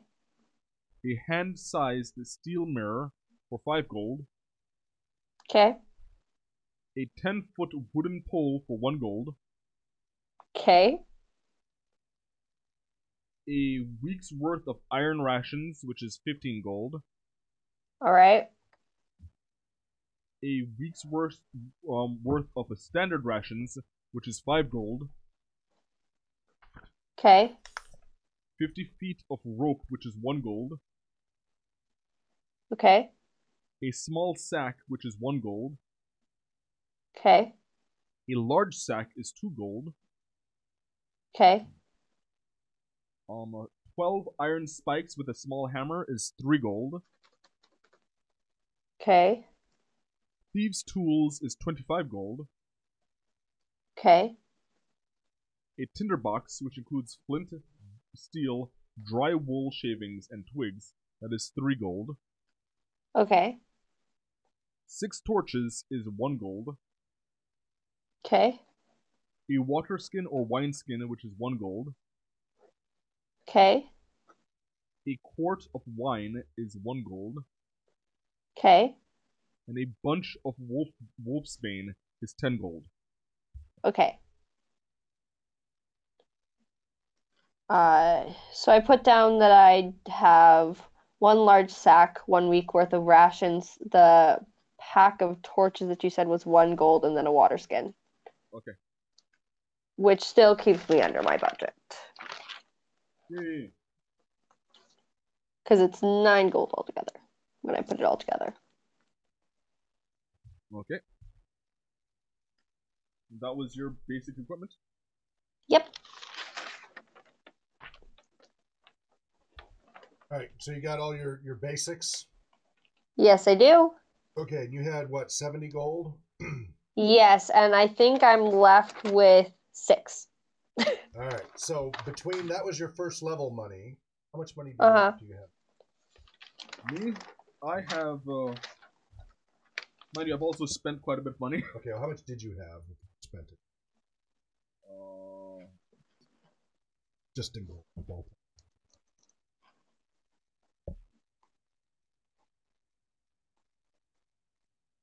Cannot tell. I have 143 gold and 75. uh, I also got. uh,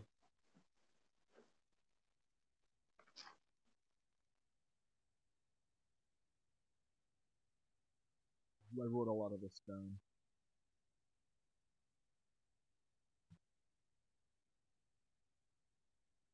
I know you had thousands of copper, a hundred copper.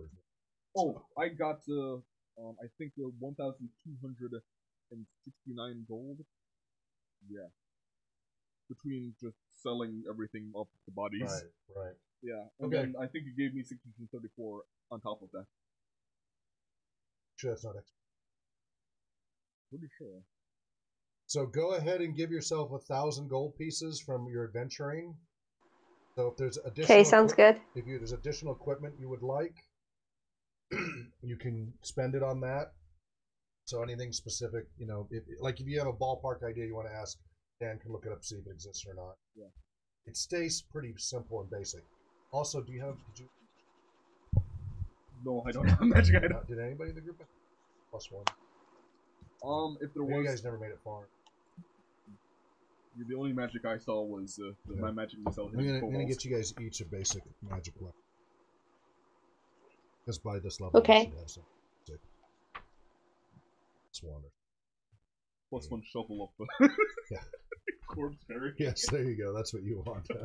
of all the things you could choose, Plus one shovel, I think, would be very, very useful. that would be the most useful for burying all your companions. And I'm To also make thinking, life digging the ditches a lot easier, or for them to bury you, yeah, so they don't leave you out for the carrion crawler.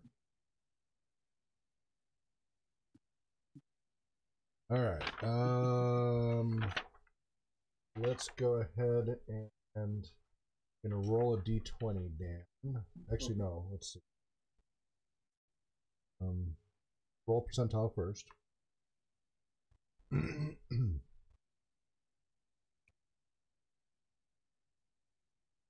Totally random.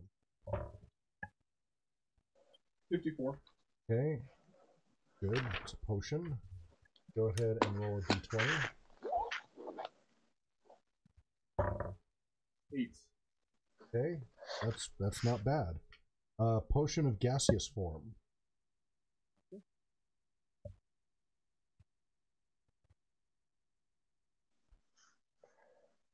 Roll d4. Actually, you know what? Just assume two doses. Okay. All right.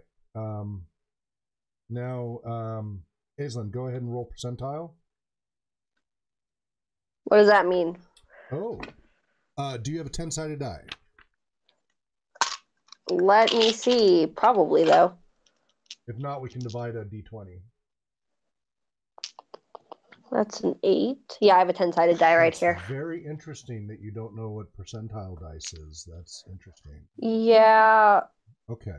You'd be surprised. I play a lot of games, but I don't always play them properly. Okay. Okay. Well, that's that's why you're here to learn lots, right? okay, I rolled a seven. Uh, well, okay. Was it a 10 sided or a percentile? A ten-sided dice. Okay, so roll a 7 again. Roll the ten sided again. Yeah, roll the 10 sided again. Okay, Sorry. one. Okay, so that's a 71. Oh, okay. So if you roll two zeros, you roll two zeros, it's a 100.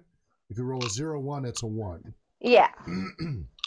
That's percentile. Now, usually there's percentile, which, but 10 sided that have the tens place and then the ones place.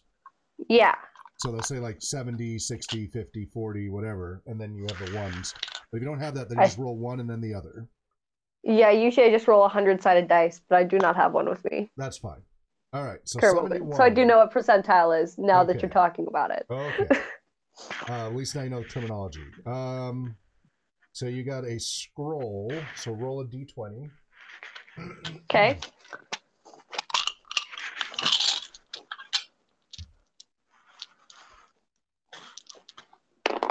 Uh, 18. Uh, reroll. 13? Reroll.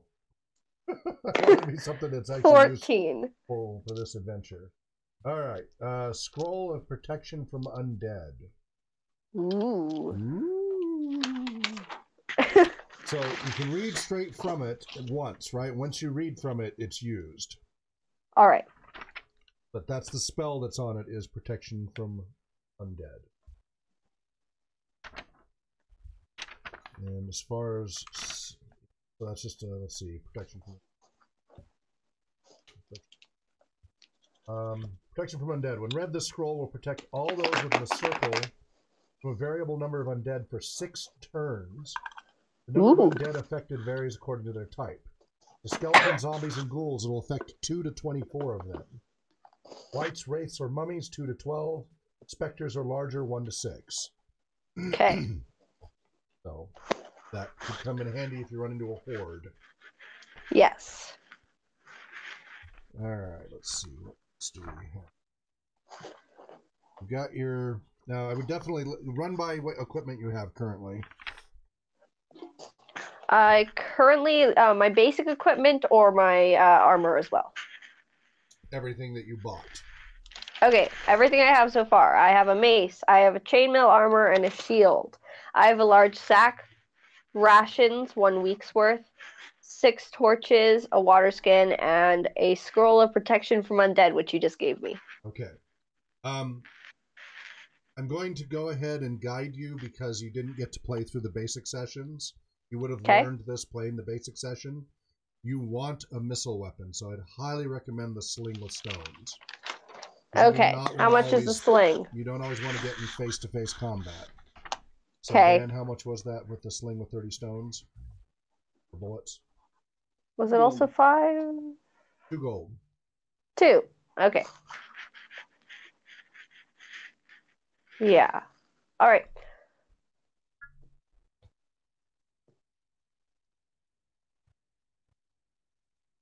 Sounds good. Okay.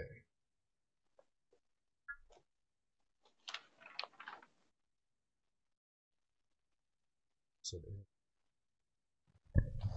sure Danielle's coming. Mhm. Are you going to be coming back later for Star Trek role playing game, the new one, or just just this game? Um, I don't know if I'll have time tonight. I have some homework to do. Don't do that. That's the priority. Yeah, the priority for you'll sure. get plenty of other chances once school's out. Although I do love Star Trek, so it's very sad. Well, this is the new Star Trek role playing game, and we will do more than one session, so you'll get another chance. Okay, maybe I'll tune in through YouTube and watch it. So go. while I'm doing be- homework. we're going to be learning as we go, so you, you know Yeah. how far we'll get. Might just be John and Dan, or Dan and Danielle. We'll see. Mm-hmm. Um. Okay. What else can? Got equipment. Player Okay, spell effects. Trying to think if there's anything you need to worry about starting out. Okay, you're doing all your magic user stuff, Dan. Um, there's some stuff that I'm going to need. Okay, what do you need?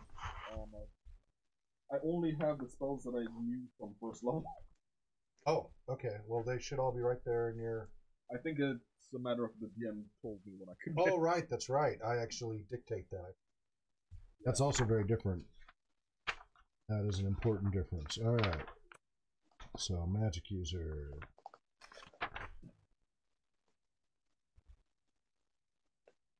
How many do you get now? Let's see. You're fourth level, so you get two and two.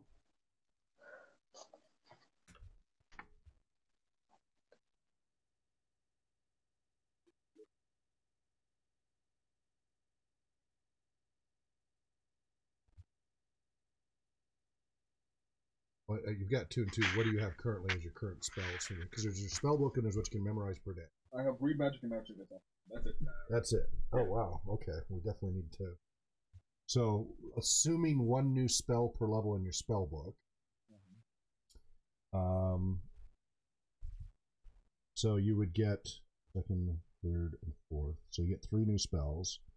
Um, but you can do two. So actually, it's going to be more than that. We'll assume two spells per per level then. Um. So let's see. You have which one again? Detect magic, read magic. I have read magic and magic. Read magic, magic, magic missile. All right. We're, we're still we we moved the studio down here just this past week, and everything's still in chaos. Like, where's all my dice? A fancy set there. There's. All right. About ventriloquism, first level? That's where you can throw your voice, make a voice like, "Hey, over here, buddy." Mm-hmm. It's kind of fun. Make people think that a bad guy said something they didn't. Squabble with each other. I've I've used that before. Gandalf used it in The Hobbit with the three trolls. Mhm. It was wonderful. All right, and the other one, uh, hold portal. Hold the door. Hold the door. Hold the door. Hold door. Hold door. Hold door. Spoilers. Um. Okay, so we're giving you six new ones. That gives you four. Two, so one more first level, and then the last three will be second level. Um. um, I, no. yeah. What? the Yeah. last two. Okay. Uh, sleep. And second level spells. Continual light. That's handy, which is reversible.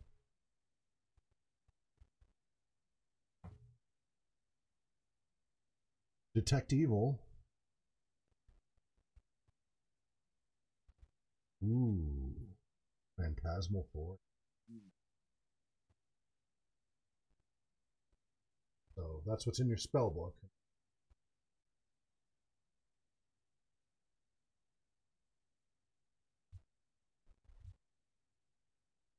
Else you needed from me?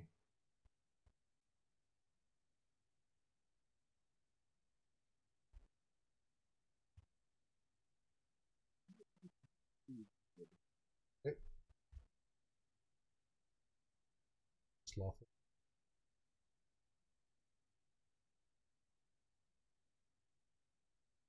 Uh, lawful cowardice. Yeah. do you want to wear the, the yellow magic user hat from uh, her, uh, uh, from JourneyQuest? Uh, Perf's Perf's yellow hat. Perf's yellow hat is entirely too bold for my description. Okay. for my character's disposition. Okay. I was just asking if you wanted to wear it. I'm trying to be in character here. so you know what's weird? Academia.edu and ResearchGate track how many people, how, how many times my Mhm. my papers are the number one downloads from all the Eastern Washington. Mm-hmm. That's whacked. All the things people could be reading, all the e- papers coming out of EWU. Why is mine number one? That's just that, that's just bizarre. My guess that's been going on for months now. my guess is there's a bunch of uh, dorks and nerds who just really like D and D. Is like, oh my Careful god, there's a paper on that. about the inculcated stereotypes. But yeah, I, I, did you know that, Aislinn? That's yeah, I heard that. That's crazy. I'm just like what? It, and in general, from month to month, my papers are in the top one or two percent of all papers read on ResearchGate.net. And Mhm. what? They Wow. Physics and neuroscience, all this other stuff out there. How is that even? Wow, fandom has some momentum. Yes, it does. But generally, Yeah, that's of for them- sure. To download a lot of them and stuff, you have to actually have an account, and to have an account, you have to you have to be you have to have a student, you have to have a university login. Yeah. So that's uh, that's been really tripping me out. The, the little emails I've been getting. No, that can't be right. That can't. Right. That can't be right. All right. Um, let's see. We've got equipment. We've got spells. Uh, you're you're figuring out your last minute equipment, or what? What are you? doing at Um, this I'm point? doing some um, minor adjustments to Okay. equipment. real quick. more up to date equipment list. There. Yeah, there is. Okay. Let's see if there's anything that is out. Um, I'm going to read a little bit about adventuring here that you guys should know about. So you might Okay. want some additional equipment because there's some new adventuring equipment. For example, do you already have a backpack? I just have a sack, which Mhm. I'm probably going to trade out for a backpack. Well, no, sacks are good for putting loot and stuff in. All right. Like, like bag of coins and stuff. So ha- keep the sack. Mhm. A backpack is only five gold. Remember, you have 5 Mhm. You have a thousand more gold to spend. Yeah. So backpack is five gold. I would highly recommend it. Okay, I shall add that right now. Good. There's a lot more, but I'm just going to focus on the highlights for you. You probably don't need a Sounds catap- good. You probably don't need a catapult at this point. I do. Probably not. Uh, you might want a holy symbol. Uh, if you don't have one already, it helps you to turn undead. Kind of important. for a cleric. Yeah, how much is that? It is 25 gold. uh, 25 gold. 25 gold. Yeah. I can do that. Yeah. And holy water is also good. It causes damage to undead monsters. If you want it, it is 25 gold per vial, so that's pretty expensive, but you've got money. Yeah. Do you have a light source, torches or a lantern? Yes, I do. What do you have? Torches. Okay, you know a torch lasts about one hour. Yes. Okay. Well, I have more than one of them, but Good, good. Okay. yeah, I know they only last about an hour. Okay, um, I've got the mirror for looking around corners, oil flasks that can be used for lanterns or to ignite weapons, 10 foot pole, standard rations, iron rations, 50 foot rope. Do you have 50 foot rope? No, I don't. Highly recommend rope. Again, these are things if you've been playing at first level you would have acquired through adventuring, so I'm Yeah. helping save you.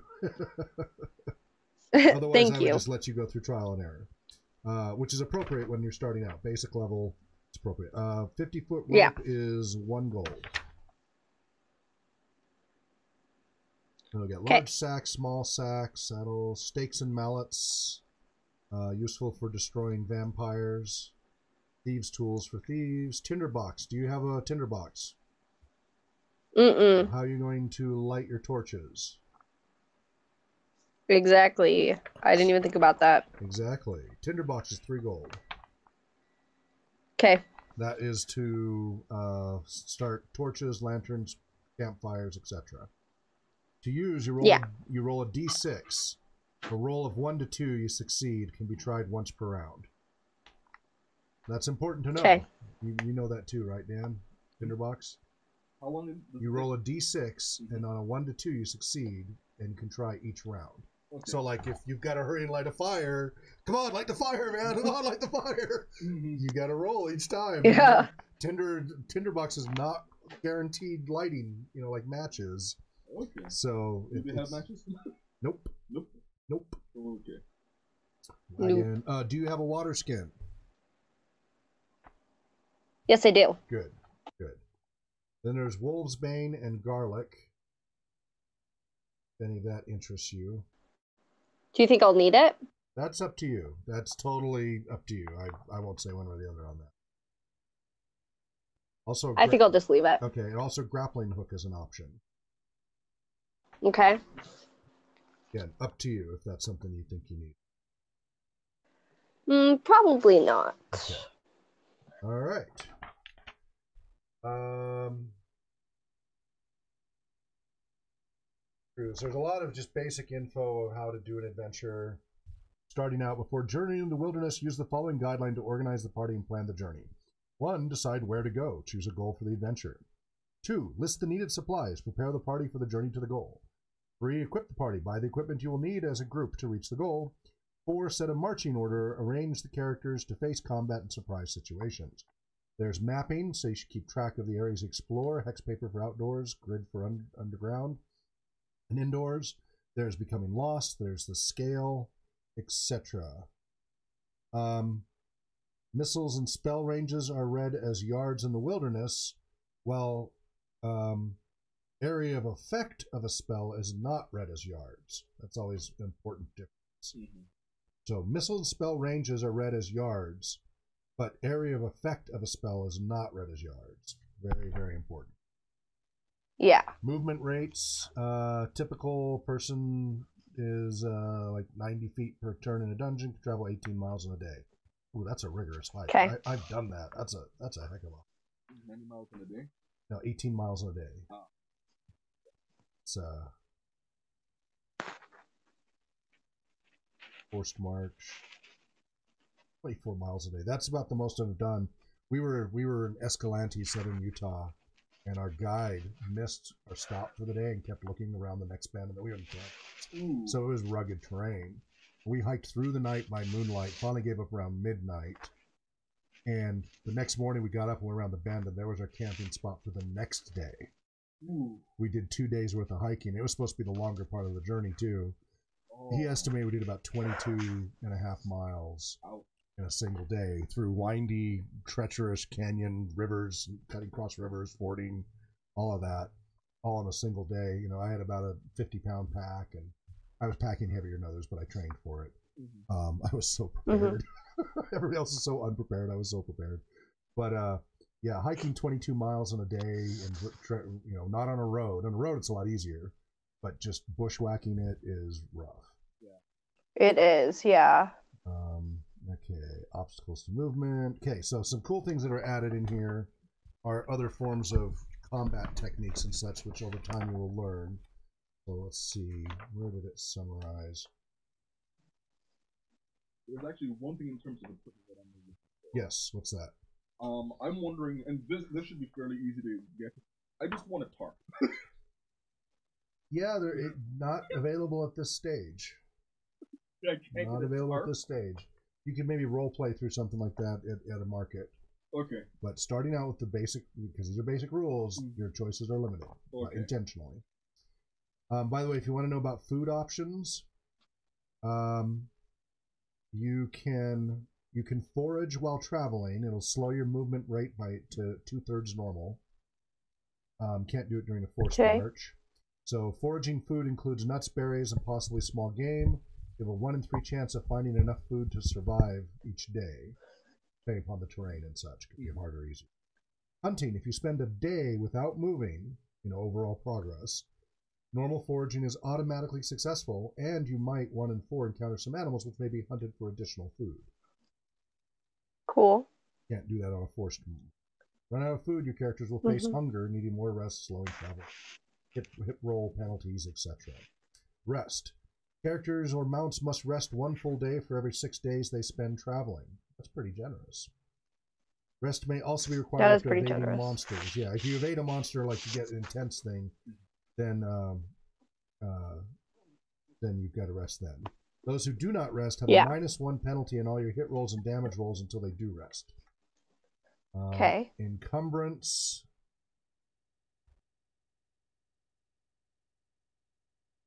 Uh, let's see. Character movement rates and encumbrance. So you can handle up to 400 coins, so 40 pounds of weight, before you become enc- encumbered generally. Okay. Not too concerned. Why? I have a four-wheeled cart and a warhorse. We'll see about that. We'll see about that. All right. And so you're pulling a cart with your warhorse? Yes. Oh, that's a happy warhorse. Yeah, that's what they're Oh, yeah. for. they must be free. that is What every you- time he walks by all the other horses, they're all neighing and snickering at him. Like, oh, mighty warhorse, huh? Pulling a cart, are you today? Shut up. What do I do on my first turn? I release my warhorse. What do I use the type tarp for? I'm hiding. yeah. I'm gonna let the warhorse Flip it over around and me. use it as a shield. Yeah. Right. Okay. Um, so new types of special combat are added in the Expert Edition. Aerial combat, okay. Aerial Oh. combat, unarmed combat, mass land combat for large scale, naval battles, Uh huh. underwater combat, Ooh. and bombing with rocks and other items dropped from an altitude of 300 or less. So they Okay. have rules for all of that, just so you know. Okay. And then they have lots and lots of information on constructing keeps. So that sounds like run, run, hide, hide, and run. Um, so here's some important things that I thought were really important. And again, this is something I think all of the role playing games should take this into account that they don't anymore in a lot of ways. Mixing levels of characters. So this is for a system that has levels, not like GURPS doesn't. They're a point-based system, etc. During a campaign, new characters Yeah. often enter the game, e- either replacing lost ones or brought by new players. But at the same time, more successful characters will continue to advance in experience. This creates a large difference between the levels of the different characters. This difference can cause great problems. As a guideline, if the difference in levels is five or more, the characters should probably not adventure together. This guideline will not apply at all times and should not be applied to games using retainers. So that's pretty generous, though, right? A five level Yeah. spread's pretty generous. That's a bigger difference than pe- most people think it is. Yeah. yeah. But again, it depends on the game system, and that is a pretty big difference even in Yeah. this game. But this game doesn't have all those other things that really crank up the power level that Yeah. later games do. That's true. so it there's a lot less point inflation in this. So a ninth level fighter and a fifth and a fourth level fighter, yes, the ninth level fighter can definitely kick butt more than the fourth level fighter, but there aren't isn't a huge difference. hmm You know, it's a good way to just like, well, have the, have the ninth level fighter be our front guy and our fourth level fighter the rear guy, and you know, you, you still put them to good use. And even if they're first level and they're squishy in the middle, you know, they're they're, they're how to use a pole arm, use missile Yeah. weapons. just don't get too close till you leveled up enough. What do you mean? I'm, not, Mhm. I'm not getting close at all. And those first few levels go up pretty quickly compared to the the higher level ones taking longer and longer. So. Yeah. Uh, okay, overusing dice. I think this is a wonderful statement here. A common error while dungeon mastering is the use of random dice rolls to determine everything. I see this all the time with organized play, games down at stores and conventions. They roll everything. Mhm. And my number They one, do. my number one role is unless it's critical for dramatic effect, you know, like that that whether they succeed or fail really is is important. Mhm. Most of the time, basic tasks they should just automatically succeed at. And I watch people rolling just to walk through the bushes or just get across the stream. Yeah. And if it's important for your story that they get washed away down the stream because they tripped and fall, okay, great, let them have a roll. Or if it's really important for your story that they get washed away, they don't get a roll, right? They uh, the ground gives way and you're swept away and you don't have a choice. If it's important for your story, Do not roll Yeah. if you need them to find something, Mm-hmm. and the game will die, won't go anywhere until they find it. Yeah. If you Yeah. start with them as prisoners in a dungeon, do not make it reliant on them succeeding on rolls to get out. Yes. Oh my goodness. I I've had problems with I- that. yeah, I made that mistake with the convention game where they all started in under Umbar. They, they they were imprisoned, and I gave them like half a dozen ways to get out through successful rolls, Mm-hmm. but they all everybody just rolled crappily. What I Yeah. sh- what I learned to do is, as long as they came up with any one of those six ideas, is let them succeed. You know, walk them through the process of level roll, and then just that just determines their level of success. But they will succeed one way or another, whether they alert the guard or not, or something. Is Mm-hmm. do not make the advancement of the game depend on the rolls. Yeah. Um, and, Yeah. and this is how you can kill a party. Doing too many random rolls can completely screech the main story to a halt. Yeah. Now, Yeah. if, if you have a very long campaign going on, that's okay.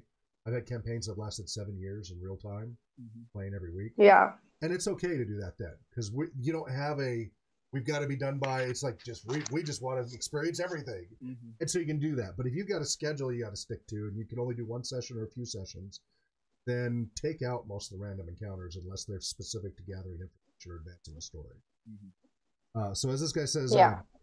uh, uh, so overusing dice rolls to determine everything. An entire evening can be spoiled if, for example, an unplanned wilderness encounter on the way to the dungeon goes badly for the party.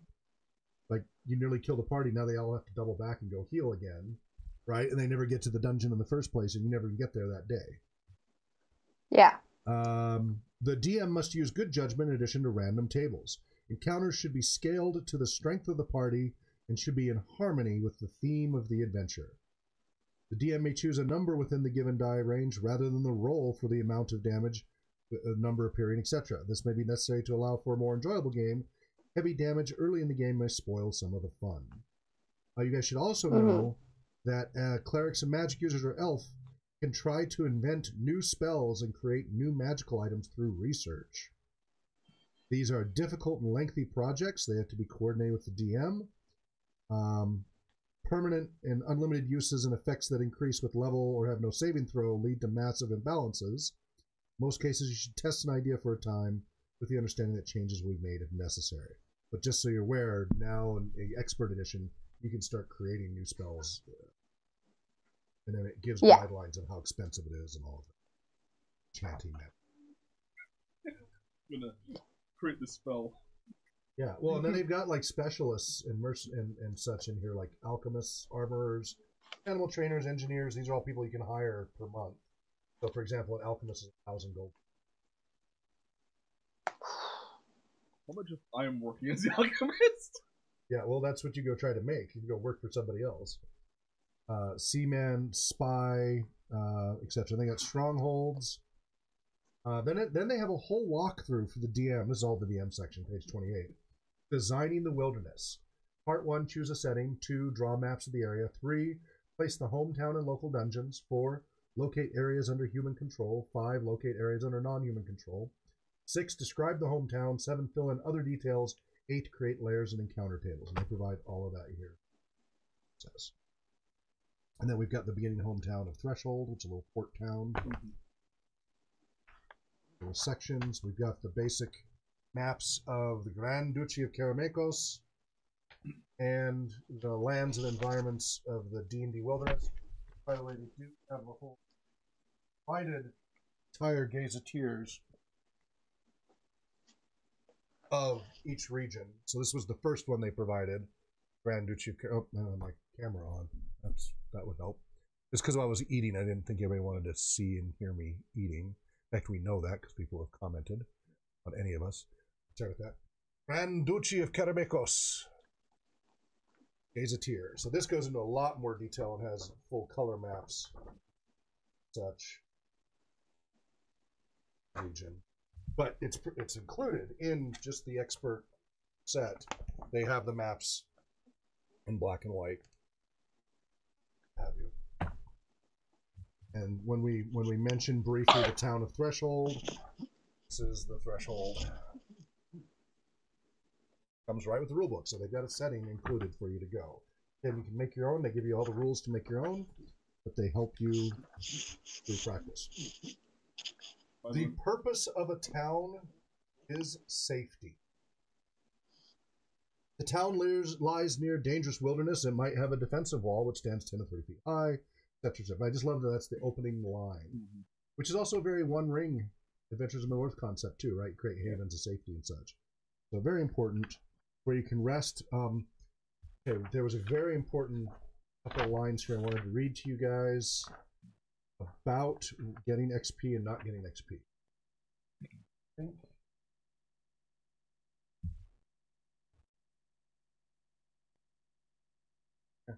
So even though we're not going to run Night's Dark Terror because it's it's too politically complicated for me to do this in the short term, this has some great pointers I do want to read aloud to you. That's part of the point of this is you get exposed to the, the, the philosophy and approach of these games compared to today's games. Um, we already talked about how before it was all dungeon crawls, now it's a little more sandboxy in, in the wilderness. This walks you through the process. Uh, you should know because you may not know this from other games, and this is generally how I like it. Um, when as far as healing from rest, you have to have a full, you know, night's rest. You only heal one hit point per day. Okay. Very important when strategizing long term your recovery time. Mhm. Now, being a Yeah. spellcaster, although you don't, yeah, it depends if you if you pick Cure Light Wounds, that can speed it up a lot. Yeah. And a lot of my campaigns, I also introduce herbs so that you can use a lot of uh, herb healing and such, which helps a lot. But Cool. that's for more advanced. Awarding experience points. And I, I very much ascribe to this, and I think it's very important that it spells this out. You should only award experience points to characters who are in a relatively safe place. So you don't really get to process and take in all the benefit until you get to relax and feel safe. Characters spending a night out in the wilderness should have to wait for their experience points until they return to their uh, hometown or someplace safe. Do not award any experience points for the killing of an NPC or monster for whom no XP value has been given. This will only encourage the PCs to slaughter anyone they meet. Yeah. So, just indiscriminate killing, they get no XP. Which a is good rule. Pretty good. Fifth edition doesn't do Yeah. that. Most of the editions don't say that. Yeah. You know, I like that rule. I, I think it's a great rule. If it's appropriate to forwarding the story, is in character, appropriate to the situation, even if it was just simply hunting for that really difficult deer, and you learn from it, Mhm. then that's worth it if you're not indiscriminately slaughtering. But Yeah. if you're just going murder hobo, this is a great way to curtail that because they don't get anything from it except risk.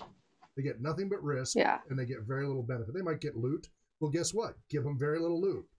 S- Yeah. Make it look like they've already been robbed previously or something, right? And and these are great Yeah. ways that they can start to learn that indiscriminate killing is not going to serve them well. This is a fantasy setting. If you're murdering quote unquote hobos, if they have anything, it's No, a we're not talking about murdering hobos. Yeah. We're talking about hobos who are murdering with the murder hobos. So I'm saying like you know, if they're doing But- this in, in, in, Yes. yes. you know, the quality of uh, items that you know they may come across may be unusable.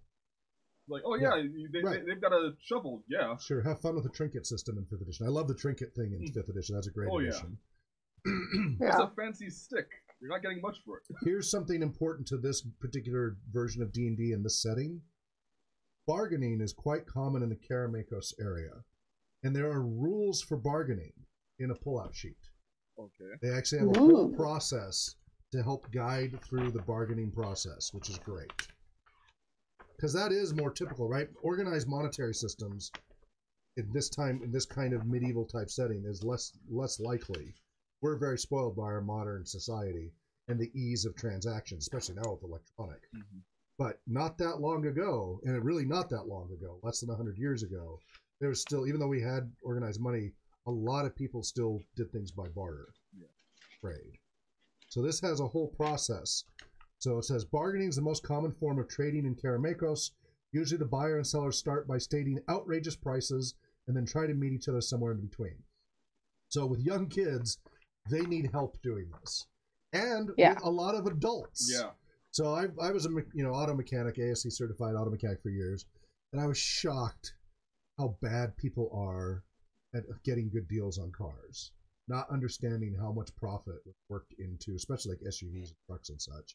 But there's a Right. lot of wiggle room that you can you can you can pressure the sales guy into giving in. Just shocked how little people bargain.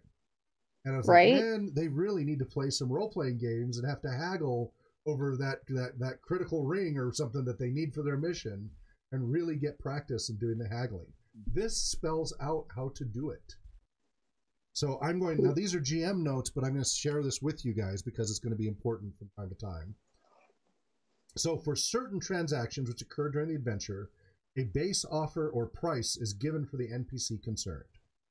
Where no base offer price is given, you should use the prices given in, you know, the normal section. Or else invent your own. If the adventurers are selling, the NPC's initial offer is one third of the base offer. Mm-hmm. So if you guys say you want 60 gold for this, they're only going to offer 20 gold, Yeah. which is going to be insulting. If the NPC is selling, the initial demand is double the base price. So if you know it's worth 50 gold and they demand 100 gold, you know. Anyway, the, the NPC as the GM, it, knowing it's 50 gold, say, I want 100 gold for this. 100 gold, that's outrageous. And you go back and forth. Mm-hmm. Now, you have to be careful about overdoing this. This is the tricky thing in a setting where it is mostly bargaining. You could bog down the whole day just being in, in, in a caravan or in the in the open market and such. I mean, I have seen players who love this. Once they realize how to do it and, and get good at it, they literally spend t- all of the adventure in the flea market, this, this, this virtual, un, not real fantasy flea market, trying to get the best deals, and then coming back to the party going, "Look at the great deals I got on this." Just like I mean, you know, everybody, we all know people who are like that. They go to you know, garage sales and the flea market and stuff like that. And they come back with a lot of crap, but they got such Yeah. a great deal on this crap, right? yeah. So um, you have to be careful it doesn't go too far. But it is great that they they actually have, for people who don't know how to do this, give you some guidelines. So once negotiations, un, it- negotiation is underway, secretly, the DM, roll 2d6 and add the PC's charisma modifier and then consult table 4. So we've got a little bargaining table here. Um, to determine what percentage of the base offer or price the NPC will eventually offer or accept. The bargaining should be role played between the DM and players. The table only indicates how far the NPC is prepared to go. If the PCs offer a better deal, it will of course be accepted by the NPC. So let's do a quick little just example. Um, Aislinn, is there something you would like to get that you can think of that's really pricey, like just you would just love to just have your, your character have hit your hands on? Oh, not off the top of my head. How about a potion of healing, Sure. in case you're a little low on spells? What is your Yeah. character's charisma? My character's charisma is a 12. Okay. So, um, I, as the DM, will roll 2d6. I got Yes. a 7. So I got a 19 total between your 12 charisma and the 7 I rolled, so that's a 19. Uh huh. Um, so now cross referencing the scale, the chart goes 2, 3 to 5. Are you tapping on something? Uh, yeah, sorry, I'm done now. Okay. you might want to mute your microphone when you're not speaking. uh, Yeah. 2, 3 to 5, 6 to 7, 8 to 10, 11 to 12, and 13 plus. So that's pretty good. Right now, it's generally pretty easy to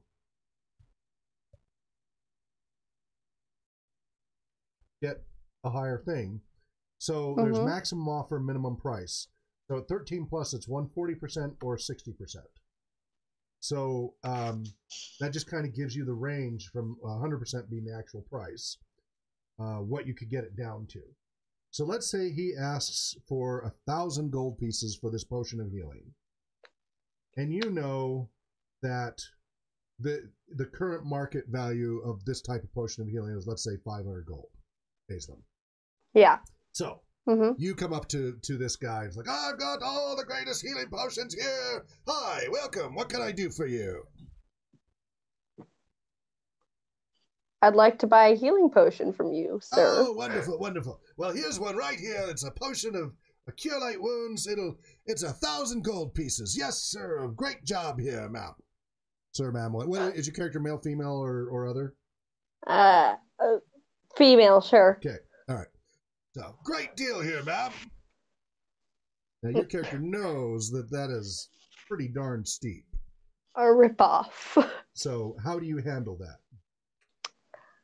I think your prices are a little bit steep, sir. Can I talk you down, maybe? Well, make me an offer. Hmm. I'll offer you 400 gold pieces. 400 gold. How am I supposed to feed my children with that? I've got three three little children and they would starve if I did that. Oh my goodness. Well, just because you're so so friendly and a newcomer here, I'll bring it down to 750. But remember, I still got to feed my family. Hmm.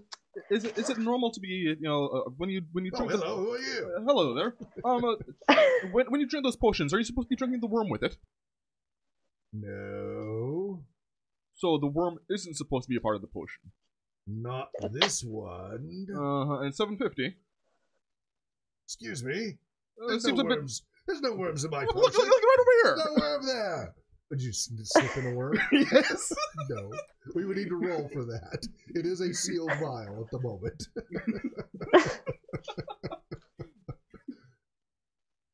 I was Hmm. speaking with her. You wait your turn. Okay.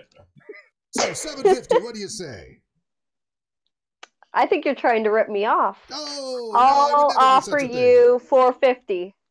four fifty. Oh, you already said four fifty before. I said 400 oh, you said before. four. Okay, bro, fifty. I went up 50. 50? Oh my goodness! I that's just. Uh, it pains me, but I, it looks like you and your compatriot are in great need. I assume you're heroes, yes? Heroic Of adventurers course. by your Yes. attire. You're probably doing great deeds to help the poor and the needy and protect our town, yes? Yes. Exactly. I will give you a one time only. I re- I never give this to anybody, but only special heroes like you. I'll give you a special discount at 550 gold. This is my veteran adventurer hero discount. It'll barely 500. put a meal on the table for my family. What was that? Mm-mm. 500. Take it or leave it. Oh, oh. How about five hundred and we take the one with the cracked glass? Okay. Deal. He agreed to that way too readily. Yeah, he He- really did. holds What's wrong with the bottle? For the, for the coinage.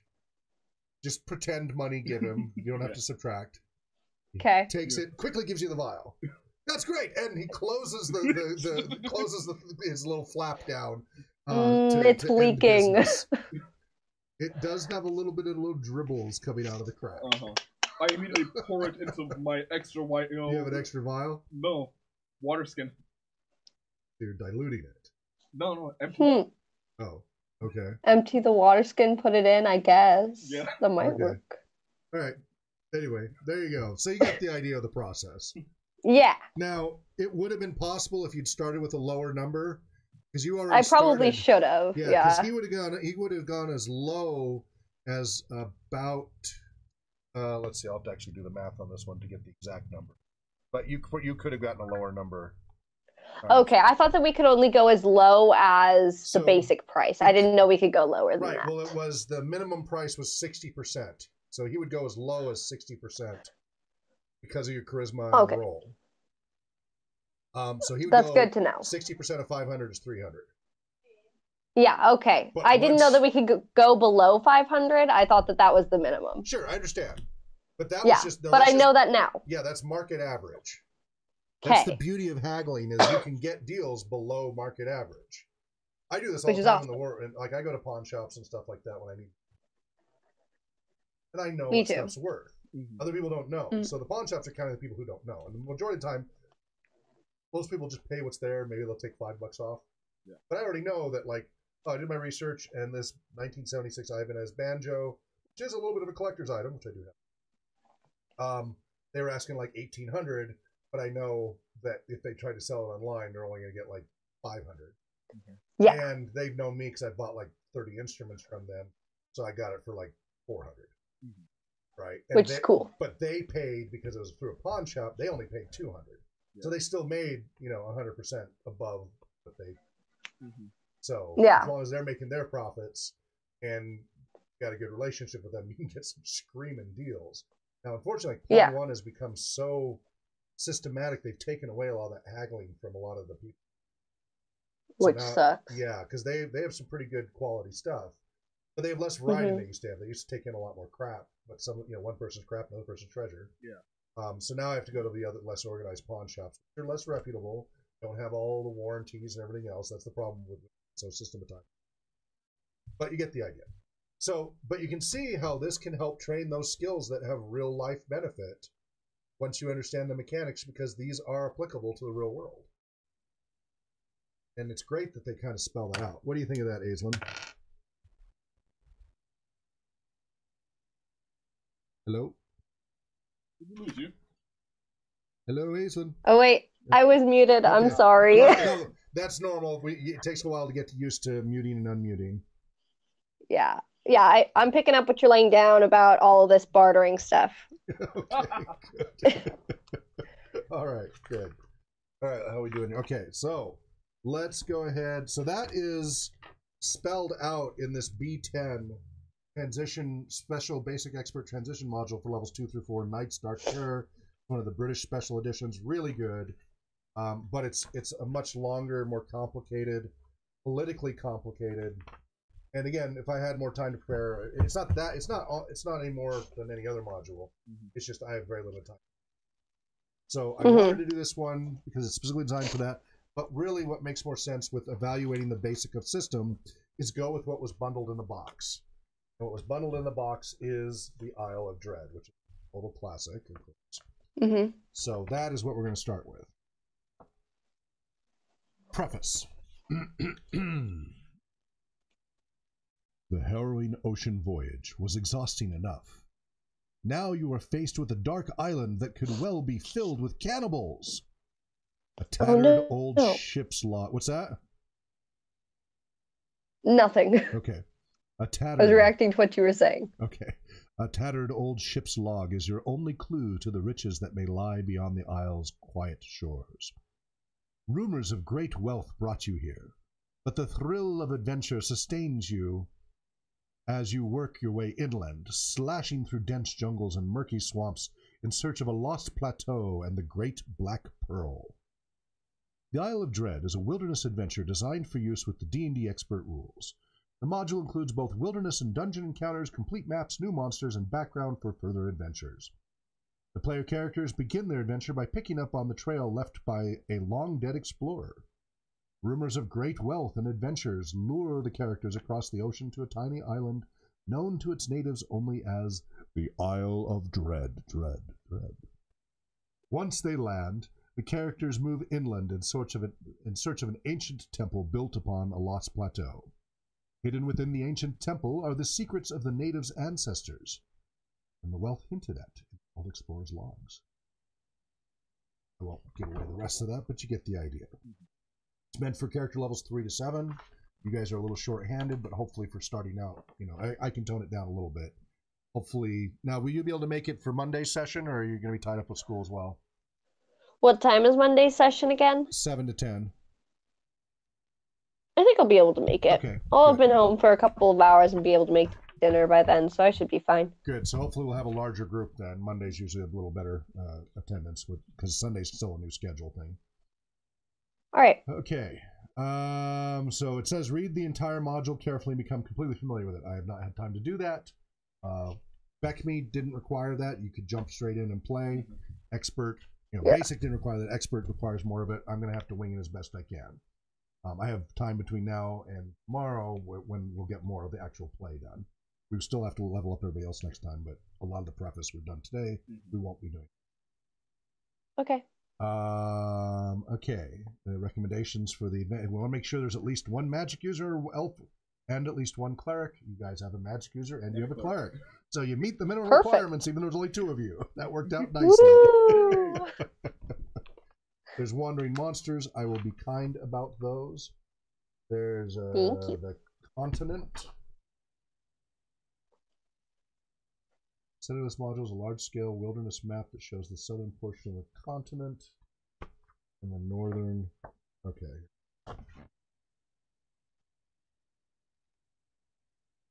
So up here, Karameikos area. Here's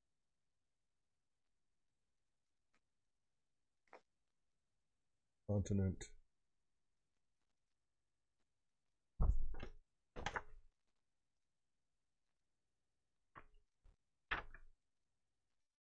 And again, because this is training, I, I share a lot of the DM insights with you guys as part of the Mhm. process. Uh, I'm not going to fill out, I'm not going to go over all the continent map key stuff. I don't have to worry about that. Okay, adventure background. Several weeks ago, a party of adventurers was returning from a previous quest when they discovered a cache of scroll papers. The scroll papers are made of an excellent vellum parchment, a kind of paper that lasts for centuries. On the journey home, the adventurers were caught in a sudden rainstorm, and the entire cache was drenched. When the adventurers returned to Specularum, they discovered that none of the scrolls was magical. Still, magic users can always use good paper for spell research and for writing their spell books, so the adventurers carefully spread the paper in front of a fire to dry out. Much to their surprise, the adventurers found that as the paper dried, writing appeared on several of the pages. The heat had brought out secret writing on the parchment. The pages were part of a ship's log. So I'm supposed to have a tear out copy of the ship's log, a third panelist module, an incomplete map of the Isle of Dreads also included. And you can use that map to chart the island and explore it, and then read the following box text to the players or let them read it themselves. So here is the parchment, which is really hard to read for anybody with any kind of reading disability. Accessibility issues there, and then an incomplete. You can share that on, on there as much as possible. Share with such. And I will read aloud what is written for Aislinn Thank and you. everybody else's benefit as well, since we do, you know, have an audience. When the gale finally ended, we found ourselves approximately seven days normal sailing distance due south out of Specularum. Actually, since it's got a picture of a pirate, I'm going to go with that voice. In the Thanegioth archipelago, we replenished our supplies, patched up the ship, and traded our remaining goods at native villages along the shores of several islands. Some villagers were friendly, but others were hostile, and the natives attacked on sight. I suspect the hostile villagers are filled with cannibals. We skirted the coastlines of several islands, sailing south by west until we reached a small peninsula cut off by the main island by a massive stone wall. We were well received by the natives of Tanorora, a small village that guards this wall. The villagers have no name for the large island other than the Isle of Dread. Their own small peninsula is known simply as home. The villagers told us a tale about an ancient city in the central highland on the isle that was built by the same people who built the wall. The villagers call the builders the gods. But I noticed that the names of the gods and the personal names of the clan ancestors were often the same. So I suspect that their ancestors and the builders were one and the same. I believe that the natives once possessed a much more advanced culture, and that the descendants of the builders have returned to a more primitive state. The inland city is rumored to be filled with treasure beyond imagining. In particular, I heard persistent tales concerning a great black pearl of the gods that still remains in the inland city. The island waters abound with excellent pearl beds, so the rumor of the black pearl may well be true. I would have liked to explore inland to verify the rumors about the mysterious city, but too many crewmen died in the storm or by cannibal spears. Only five of us are left. I am the only professional adventurer, the others are only sailors. We can sail the small ship well enough, but on land, in hostile territory, we would be helpless. Once back in Specularum, I should be able to recruit a new crew and party of professional adventurers. Then I will return to claim the Great Black Pearl. One thing I managed to do before leaving, we sailed around the island and made the best map we could. We were afraid to land, since village fishermen had warned us that trying to land anywhere on the main island could be extremely dangerous, as the coasts were rocky and without beaches. As a result, the map only shows the coastal areas we could chart from the ship, but it is better than nothing. And the ship's log is signed Rory Barbarossa. Hey, what do you know? I think I picked the right pirate voice for that. Mm-hmm. That's Oh. for sure. A well known adventurer and sea captain who died about 30 years ago. All right, I got the voice right. Cool. Because remember, I haven't pre All run this. I haven't run this in decades. So, uh, a Mhm. little research in local taverns reveals that you, uh, uh, to the characters, he had died just. or what? A little research in local taverns reveals to the characters that just before he died, Rory was indeed recruiting for a journey south. He'd been blown off course on his last voyage. Now, again, we could roleplay this. We're going to fast, again, we're trying to fast track this here just to expose you guys to the mechanics and such. Um, Yeah. Uh, he had been blown off course on his last voyage and had hardly been in town a day before he started signing on new hands. Unfortunately, uh, Rory angered a powerful wizard over a lost wager and died horribly before his journey south began. Oh! Great. Not only does the story of Rory Barbarossa's death confirm the writing on the parchment, but every rumor that you guys can track down about the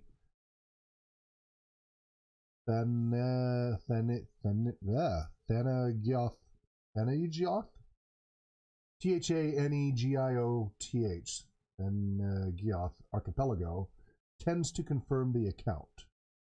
So that says you, you should make up suitable rumors as needed to roleplay through that. Preparing to set sail.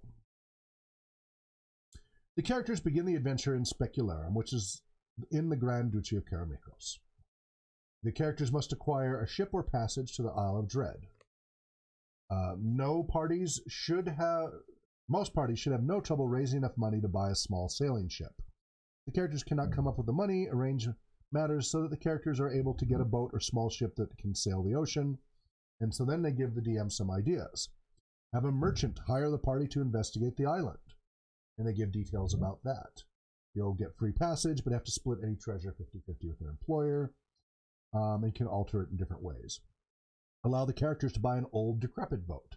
Generate a percentage by dividing the price paid for the boat by the cost of a new boat. This percentage is the measure of the boat's condition. The speed and hull value of a new boat are both multiplied by this percentage, giving lower values for the party's boat. So, you know, that's another way. Allow one character to inherit a boat. Let the characters borrow the money to buy a boat, interest of at least 10% per month. So, of those options, because again, we're, we're fast tracking here, what route would you guys would you like to take for your characters for your boat acquisition? Not Acquisitions Incorporated, Huh. which which now is you know available as a fifth edition supplement. So, do you guys want to have somebody hire you to do it and you guys split the treasure 50 50? Or do you want to try to buy an old decrepit boat with the money you have? Or should I roll to see if you inherit a boat, which means complete luck of the draw? It could be really anything. Roll. Or let you borrow money and then have interest of 10% per month. You've got to talk to your party member here, not just decide unilaterally. Did you hear our uh, various options for uh, a boat? Oh, we lost Mister. Come back to us. Come back. Come back to Mordor. Are you there? Nope. Yes. No. Hello. Hello? He's bouncing in and out again. No. Uh, Aislinn, you can always answer in the YouTube chat as well if you're bouncing in and out on Jitsi. Hello. Can you hear us? Are you stabilizing your connection, Aislinn? Hello, hello, hello. Can you hear us? Welcome back. Can you hear us? We can't hear you. Are, are you once again muted? Joys of tech. Hello, hello. Welcome, welcome. Back. Welcome back, Kata. Welcome back, welcome back, welcome back. This is Ginger. Okay. I, I'm aware of the difference. Wow. Bouncing connection like crazy. Any better? So, Aislinn, if you want, you could respond in the chat room on the YouTube channel if, if, if you can't get this connection stable. At least as text chat. If it does stabilize, we definitely prefer to have your audio. Hello, hello, hello. Are you on mute? We can't hear you.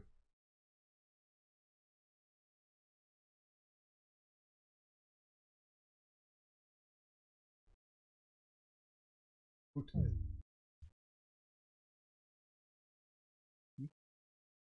No. Oh. I think you'd like it. All right. That's what. She, all right. So, Aislinn, uh, did you need me to reread those options to you, or did you hear the options available as far as boat acquisition? Um, so it, you can have a merchant hire you guys as a group who will then demand 50 50 of the treasure. So 50% you give to the employer, 50% you get to keep, and they'll provide what you need. Uh, or you can scrape your money together that you have and buy an old decrepit boat with the best you know best you can with the money. Um, or we can roll randomly to see if one of your characters inherits a boat, uh, which there's an inheritance tax, and um, you don't know what you'll get. You could end up with a really pitiful boat or a huge boat that you need to pay for a crew. You don't know what you'll inherit. So no guarantees on that. Mm-hmm. Or you can borrow money to buy a boat, interest of 10% per month. So, Dan, what were you preferring? Um, I'd like to um see what we can inherit, and based off of that, if we, for example, if we get like a massive ship, Mm-hmm. we could try to sell that and Mhm. get something smaller. Mm-hmm. If we've got a pitiful boat, we could try to sell that and try to go up. Okay. Yeah. That's your thinking. Um, so a little bit more control and less uh, really random as far as uh, trying to strategize. Aislinn, what do you have as a preference there? So we've got a merchant hires you, will provide everything you need, but wants 50% of the treasure. Scrape together what you currently have to buy uh, some sort of old decrepit boat. Roll roll randomly to see what you inherit. Dan has a contingency plan if it's not if you inherit something you don't quite want that you sell it and try to either downgrade or upgrade as needed, and uh, or borrow money. All right, you're gonna go with Dan's approach. So we're gonna randomly inherit something. Uh-huh. So make sure the boat is okay. Um, so and that means you will have to pay a ten percent inheritance tax automatically, Okay. no matter what. You'll have to pay that, and then and the ship can't can't sell it or leave until that tax is paid first. Okay. So if it's a very expensive boat, that could be a problem. Welcome back, Aislinn. Thank you. Yeah, I am gonna agree with Dan on this. Okay. I liked his idea. All right. Thank you. Yeah. So not the running with scissors group Uh, as far as No. no, well, considering that I, as a magic user, I'm uh, you know I'm uh, how should I put this? I'm designing my first spell. It's called Dig Ditch. Yes. Yes, indeed.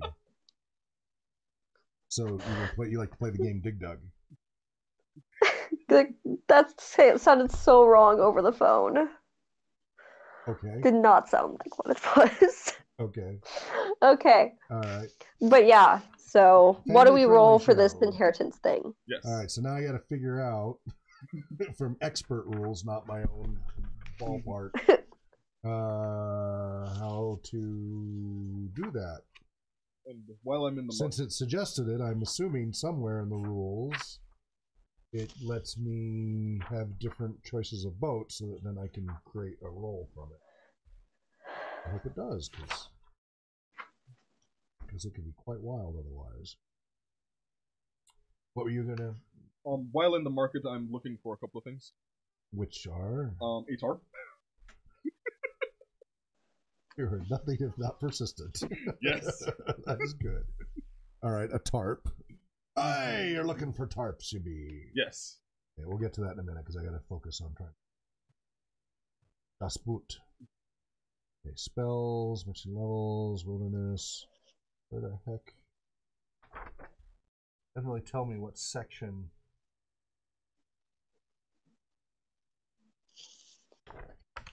Somewhere it should provide boat in.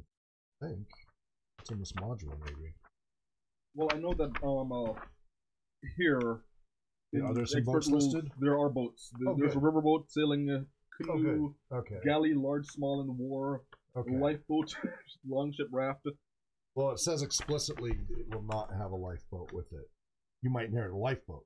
You, you will not inherit a boat with a life. It says that explicitly. Uh huh. So for this adventure, which which is a warning. What page is that on? That is on page 19. Water transport. There it is. All right. So we got.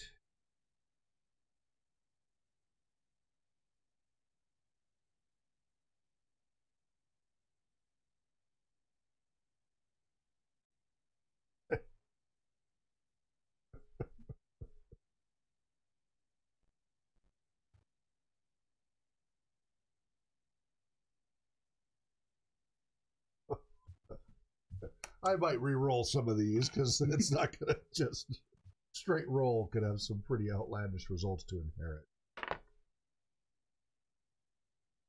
I think you just lucked out right off the bat. Uh huh. Got small sailing ship. Okay. Oh yeah. Oh yeah. So 'Cause you don't need a war galley or a large or small galley. Small sailing craft probably exactly what you Do you have any details about these. I don't see water. Okay, page 43. Okay, good. 43. Again, we're sharing this as though people never played it before. You know, you know, so that we see how accessible it is to get a game going right away. And okay, campaign, okay, uh, uh, lifeboat, longship, small sailing, very similar to large, but with a single mast. So it's still pretty big, 60 to 80 feet. Beam is 20, 30 feet. Draft 5 to 8. Standard crew is 10 sailors and one captain. Capacity is 100,000 coin plus crew. So that's uh, um, a lot. 10,000 pounds of carrying capacity. mhm. That's a lot of loot. Pretty good. But you Yeah. need the standard crew is ten sailors. Doesn't mean you can't get by with fewer, but you've got to have people actually know what they're doing. Yeah. So Yeah. as far as smaller ships, not counting a lifeboat, um, or a riverboat, sailing boat, coastal. See, and you need something that because a river, a sailing boat isn't really meant for coastal. It's not really meant to go across sea. I think the small sailing ship's about the smallest you can get away with, and like not die. Mhm. I mean, there are people with canoes, but yeah. Not doing a canoe. um, you know, raft, lifeboat for survival. Yeah, I think that's your smallest that you can get, but you're gonna have to figure out how to crew it. I have an idea. All right. So Yeah, I have an idea too. Shall we go ahead and inherit that then? Sure. So the Yeah. value of it. Um, Five thousand. Cool. So that's 500 gold is the 10% inheritance tax that'll cost you inheriting it. Uh huh. So who has Okay. 500 gold to, to hand over to the tax man? Um, I do not have five hundred gold. Yeah.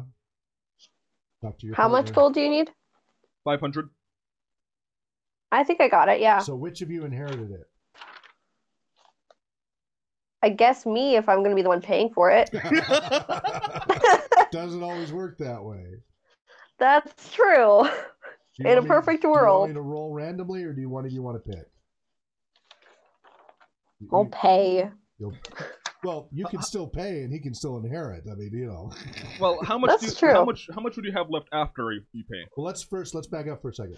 Do you want me to randomly roll who inherited it, or do one of you want to? Do you guys want to agree on who inherited it? Um, I'm okay with it being random. because I've, I've got yeah. a, I've got a plan. Yeah, I'm okay with it being random. All right. Roll a d6. Roll a d6. Don't Dan. Don't say yours aloud yet, but just let me see it. Okay. What'd you roll, Aislinn? A one. Okay. So Dan inherited it. Okay. He got a six. Okay. Um, but he doesn't have the money to pay the inheritance tax. No, I don't. So that's an opportunity for you. So I'm, I'm assuming that uh, you know I you know the one of the reasons why I'm over here is that I got a letter that I inherited this boat. Great. Okay. Yeah. Then, meanwhile, Aislinn, he doesn't have the money for the inheritance tax to set the boat free. It's Okay. impounded until it's paid. So you two need to talk. So, um, uh, I'm guessing uh, I inherited because uh, I had a family member who was in the shipping business die. That's how inheritance go. Yep. Um, and uh, we're in the city to take a look at this boat. I'm, I want to track down the old captain of this boat. Okay. Okay. And my idea is, uh, um, we we have this uh, um uh, map. hmm Okay. I want to sell him uh, my inherited ship. So you do find the whole crew that was geared up for this boat. Yeah. But you find out that the captain was recently died a horrible death after losing a wager with a wizard. Who's second in command? Ah. Yo, Yeah. Who's second in command? Unfortunately, he lost his mind after he witnessed the horrible death of the Third in command.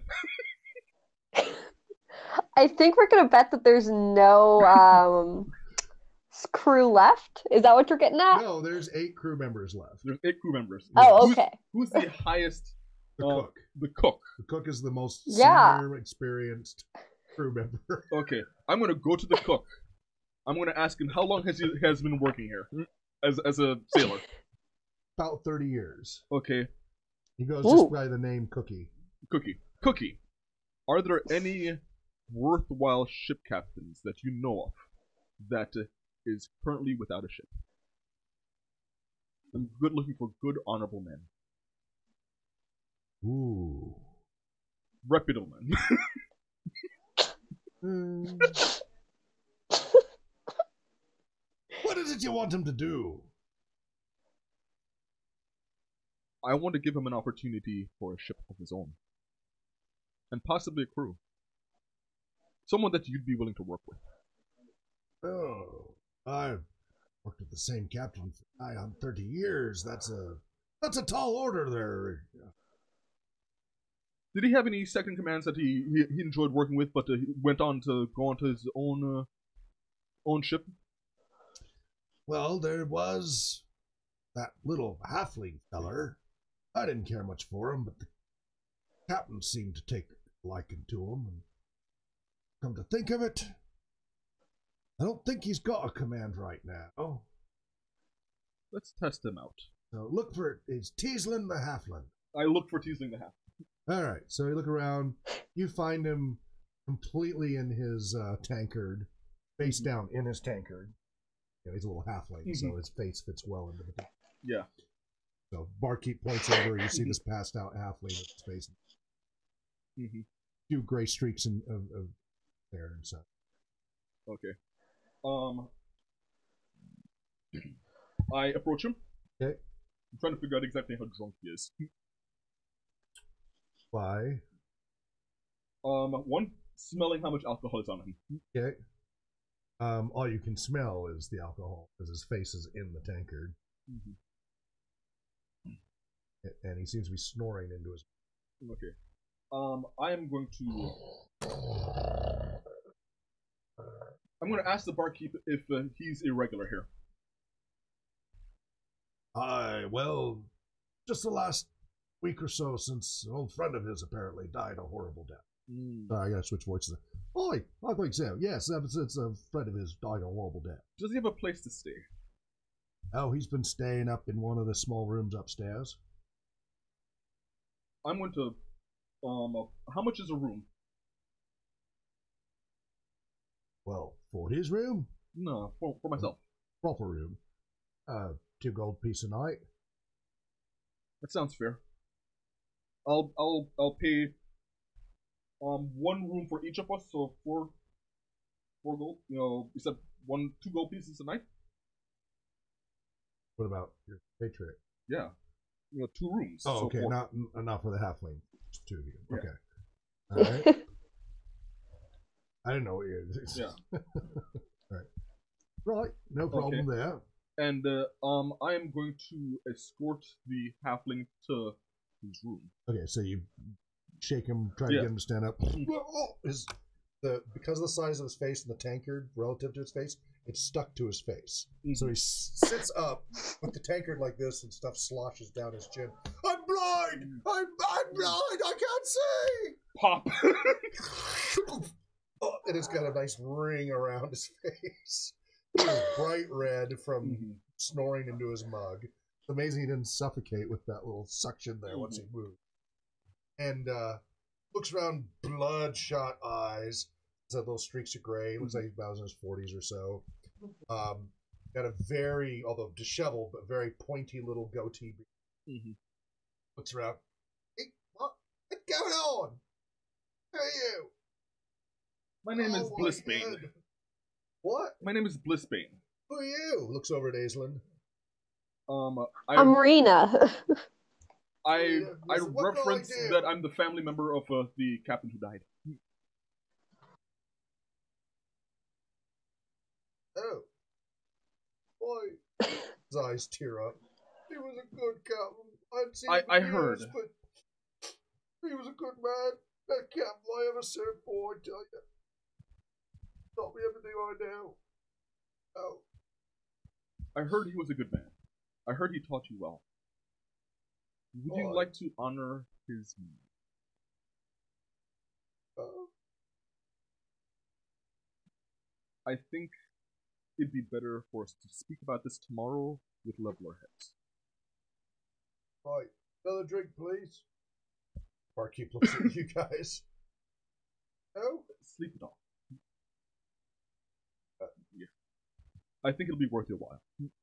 Right. Come on, give me a hand to get up here. I give him a My hand. legs are working. The ground's kind of wobbly. I, Right. I you walk him to his small room. It is Yeah. literally a small room. The door is half normal height, Mhm. Yeah. and it's it looks like it was probably a closet was Yeah. converted for halflings. Mhm. It is not much of a space. It's got a little bed stuck in on what looks like a shelf, Mhm.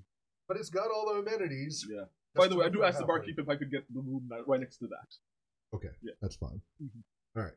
So he goes in there and like just face plants into the bed and he's snoring Yeah. all right. What do you do? Uh, what? How? What time of the day is it?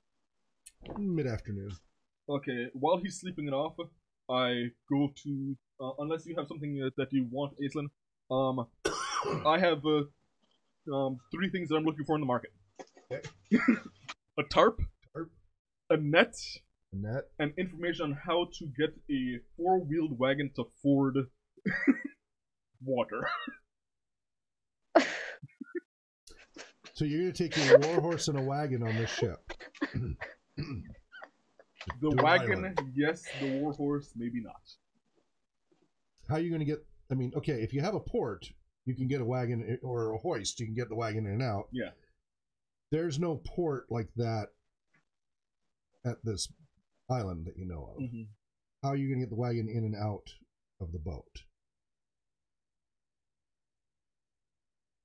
Okay, I'm looking uh, to see if I can trade my wagon in for a lifeboat. Or you could just put it in storage. You can put your leave leave your horse and boat in some sort of prepaid storage thing here. That'd be. T- then keep maybe you could take care of them for a while while you're gone.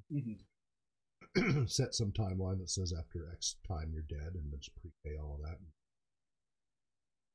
Okay, that sounds that sounds fair. We're fast tracking this. Yeah. thing.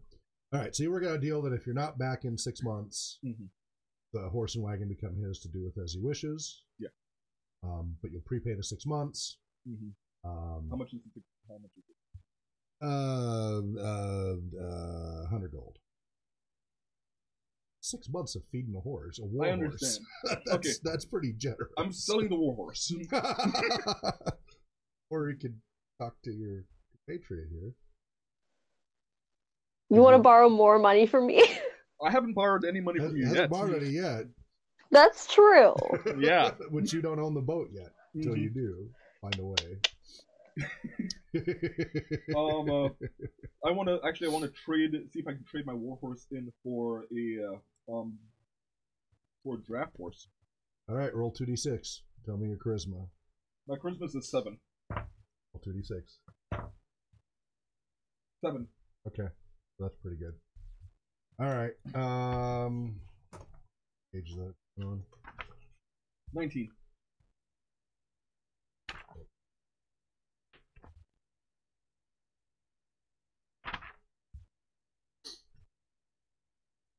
So you're trading in your war horse for a draft horse. Yeah.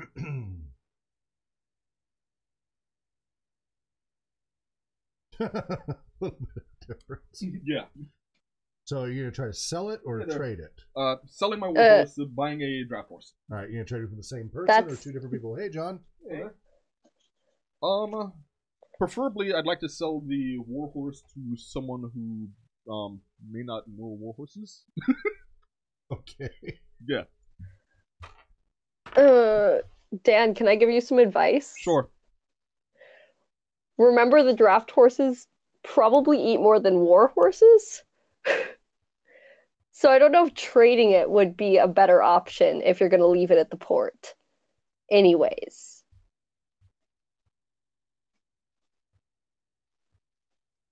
Hmm. Right now, I'm just you know considering selling the warhorse. Okay. So Okay. we're having a Just- conversation about it. Yeah. Meanwhile, a tarp. Mhm. Uh, what size tarp are you talking about? Ten foot, four foot? Um, I was thinking about covering the cart. Okay, and it's a four. So what? Four feet by eight feet. Uh, call it ten. That's like the size of a pickup truck. Bed. yeah, uh, Long yeah. Four feet by eight feet. Mhm. Okay. Um, and netting of the same size. Net four foot by eight foot. Um, five gold for the tarp and ten gold for the net. The 15 Mhm. Um, uh, call it ten, and the net doesn't have to be in good. Um, Oh, uh, we're doing the haggling yeah. thing. knock off five, you and can have a lower grade tarp and a lower grade net. I'm fine that. with that. All right, so the net's got a few holes in it, and the Mm-hmm. tarp isn't waterproof. Okay, not a problem. Okay, there you go. So that's ten gold.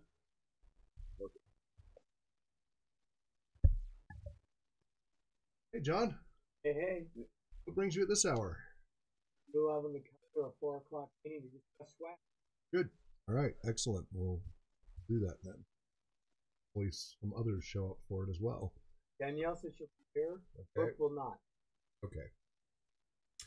Um, so we're just getting them started on the introductory expert adventure here, which will continue tomorrow. Will you be here tomorrow night for that? A Uh, seven to ten slot. Okay, so because they need a little larger group, it's good- it's Isle of Dread instead it's simpler. This one's way too complex politically and such. For, Oh, okay. Well, I enjoyed Isle of Dread. do you remember it? I, do I have it memorized enough for the spoilers? No. Good. Been long enough for me. So. All right, so we're just in kind of the preamble here. Yeah. I, I- there's a whole barter mechanics built into the. Oh, Yeah, it's good for people who don't know how to do that. Teaching them how to do it, so they've been playing around with that. And uh, your charisma obviously hasn't. Um, okay, so you got that. Uh, so what do- you and Aislinn have a debate about what to do with the horse. Okay. I'm trying to sell the horse, the war horse. So you're Okay. go ahead and sell it. Yeah. All right. and Um, complete with the uh, um, chain barding that it came, that I have with it, and Right. saddle and you're having trouble, short of selling it to the military, who obviously knows a lot about war horses. Mhm. You're having trouble finding anybody who even wants to touch. Then I go to the military. Okay. They're eyeballing you suspiciously about how you acquired this military warhorse. I had a friend who was in the military who wasn't as uh, lucky and as was I it was it standard issue to your friend? Yes. So shouldn't you be returning it to his unit? I don't know who unit it was. It may, he may have gotten it uh, on uh, um. Uh, Tell us who your friend is, and maybe we can help you return it to his unit. I named the person that I got it from. Okay. And was this from previous adventure or you just Yeah. making stuff up? Okay. So that is from back in that is so that's not far from here. It's part of this kingdom. Mhm. So it would be returned to this military unit. Okay. They give you they offer you a ten gold piece finder. And, not, hmm. and not really an option. Not really any other option. Thank you for retrieving one of our unit's horses. Here's ten gold. Huh. It is Yeah. military issue. Yeah. They are Although I did- highly prized. Yeah. I did buy it though. oh, you bought it. I well, bought- then why didn't you say that? Oh, I'm trying to stick with story. but you could yeah. say I bought it. yeah. I, I bought a You're war horse. lie about. Oh, I bought a war horse with chaining and the, Okay. Yeah. Well, then why did you say you got it from a friend? You bought it from a friend. Okay, but that but that's. Yeah. Okay. I I'm just going on the story you told me. So logically, all right, if you bought it, Yeah, I that bought does it. not mean it's. Uh, that means it's somebody who specializes in selling privately Yeah. war horses. That's totally different than somebody who is military issue. It would be returned to the military. Okay. Yeah. So then that, that's a completely different role play, and so instead they're interested. They're willing to give you uh, seventy-five gold plus twenty-five gold for the party. Are we having haggling? Okay. That's a hundred gold. Parting on the walls. Take it off. Because they'll have to go through some reach. It's not standard. Hmm. Four hundred is still in good condition. Counter with fifty. It's going to be weeks of feeding it before used in their regiment. Three hundred, you're getting armor, and the the and bridle. Bridle. And you're shooting flame. Um, as far as the barding, that's a value because it's already fitted to the horse. Yeah. Bit and bridle's really not that big a deal to them. Those are Yeah. a dozen. But we're them. talking chainmail. Yeah. Barding. So with with the chainmail barding and such, they're they're willing to bring it up to two hundred gold.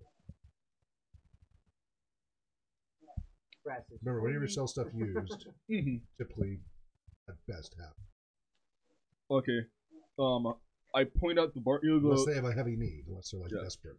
I, I point out the barding Mhm. and says, okay, with a with a bit of dust, Mhm. this isn't used. that helps.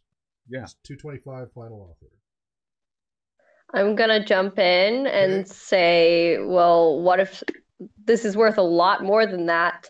What what if we just go to someone else? Good luck with that. As if. uh, they they seem to know there isn't a huge demand in this town for military grade horses other than for the military. So they are taking advantage of that. Hmm. But that's their response is, yeah, go, feel free. Good luck with that. Huh. How much could we get for a farm horse, though? For what? For like a farm horse, how much would somebody pay for that? Um, depends on where you Just. You'd go out- hypothetically. you'd have to go out to the farmers. Um, you know, probably forty gold, twenty gold, something like that. hmm. Yeah. Never mind then.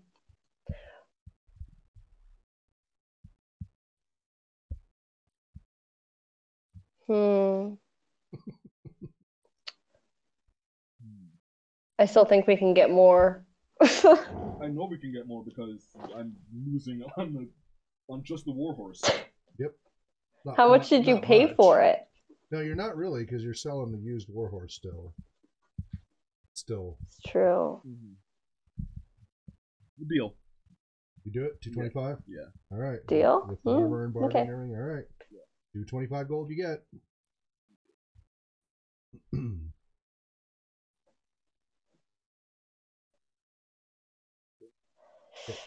Everybody's saying, yeah, Aislinn. It's she, she's got her name. Hmm? Uh, John's signing you into the roster here. We have a roster that to sign in every time to track your hours. So Ah, from- okay. from one to ninety nine hours, you're a red shirt. We uh, That's not don't know. good. I don't know if you can see the rainbow up on uh, on the green screen, um, but yeah, I don't think it's in the camera. Yeah, it's not on the camera. But anyway, uh, we we do a Roy G Biv uh, just to show seniority as hours. It's not really any command structure. It's just showing how long people have been doing it. And zero to Mhm. ninety nine is red. Uh, uh, 100 to like 200, 250 is orange. Next increment, I think up to 500 is yellow. It does the whole rainbow, Roy G. Biv, which is also a reference Yeah. to the Paranoia role playing game. And then the red shirt is, of course, a Star Trek reference. So we got all Yes. of that into one into one little uh, volunteer seniority tracking thing. So we track your hours. It also is part of you know your training and diploma and all of that. The certain minimum hours of engagement. What number? are you? hmm Uh, what's your volunteer ID number? Remember? No, Okay, you. can- It was like I can look- sixty-four. I can look it up. It's on Yeah. our website on our staff list. If you log in on our Mhm. main website, not the not the RPGSN, but our www.rpgresearch.com, under staff Yeah. staff contact list, which you should be able to see, see when you're logged in. Not visible to Yeah. the public. You have to be logged in. That lists everybody's uh, volunteer ID number. So yours is number sixty-three. David Perlman is 64, who just joined us. Sixty-three. Okay, 63. I knew it was somewhere around there. Sure, yeah. Okay. And Dan, you're uh, yellow or green? I think Hours. I may be. You're at least yellow. I'm at you were least making yellow. me think You're about nine? that color. What? I think I'm green. Nine. Uh, seven. And Daniel Pullman just got here. Fifteen hundred. Uh, no. Um, what? David Pullman. No, no, no, no, no, no. He's 64. He's not here. I was just giving. Oh, I was just telling her she was 63. the He's 64. that. Danielle just remoted in though Mhm. for the meeting. All right, um, Ah. Aislinn, it's up to you if you want to stick around for this meeting or not. This is the end of the uh, applied gaming section. We now have an administrative meeting about trying to come up with ideas for swag for RPG research for for you know buttons, hats, whatever for people who want such things from RPG research. So you are welcome to participate in that, or you can check out because of school stuff. It's up to you. Uh, I can. I might stay for another couple of minutes, but I I gotta pop off soon. Understood. Okay. So we will continue this adventure. We kind of got everything in place. You guys, uh, uh, Mhm. well, actually, let me quickly ask you guys. Well, we'll we'll continue the role play if Yeah. you'll be here tomorrow night, Yeah. uh, seven to ten. Yeah. Uh, you and Mhm. Dan and whoever the additional adventurers are that join you can work out the details of the inheritance tax and the crewmen of the ship. But you guys at least have already taken care of getting the ship. Mm-hmm. So whoever Yes. joins us tomorrow, you'll just you know you guys will already know each other from wherever Yeah. because we want to fast track doing the actual playthrough for the mechanics purpose. So this session Yeah. we already covered a lot of what is introduced in the expert system from the basic system. So Mhm. you might want to watch the video, listen to it, whatever. Okay. So Long you can catch up on it. All right, um, I'm going to stop the stream and then start the stream for this separate meeting. Yeah. You just hang tight here, Aislinn. That nothing changes on your end. It's on Mhm. the YouTube end that Okay. it stops. And I've All right. got some errands that I gotta do Okay. for the next All right.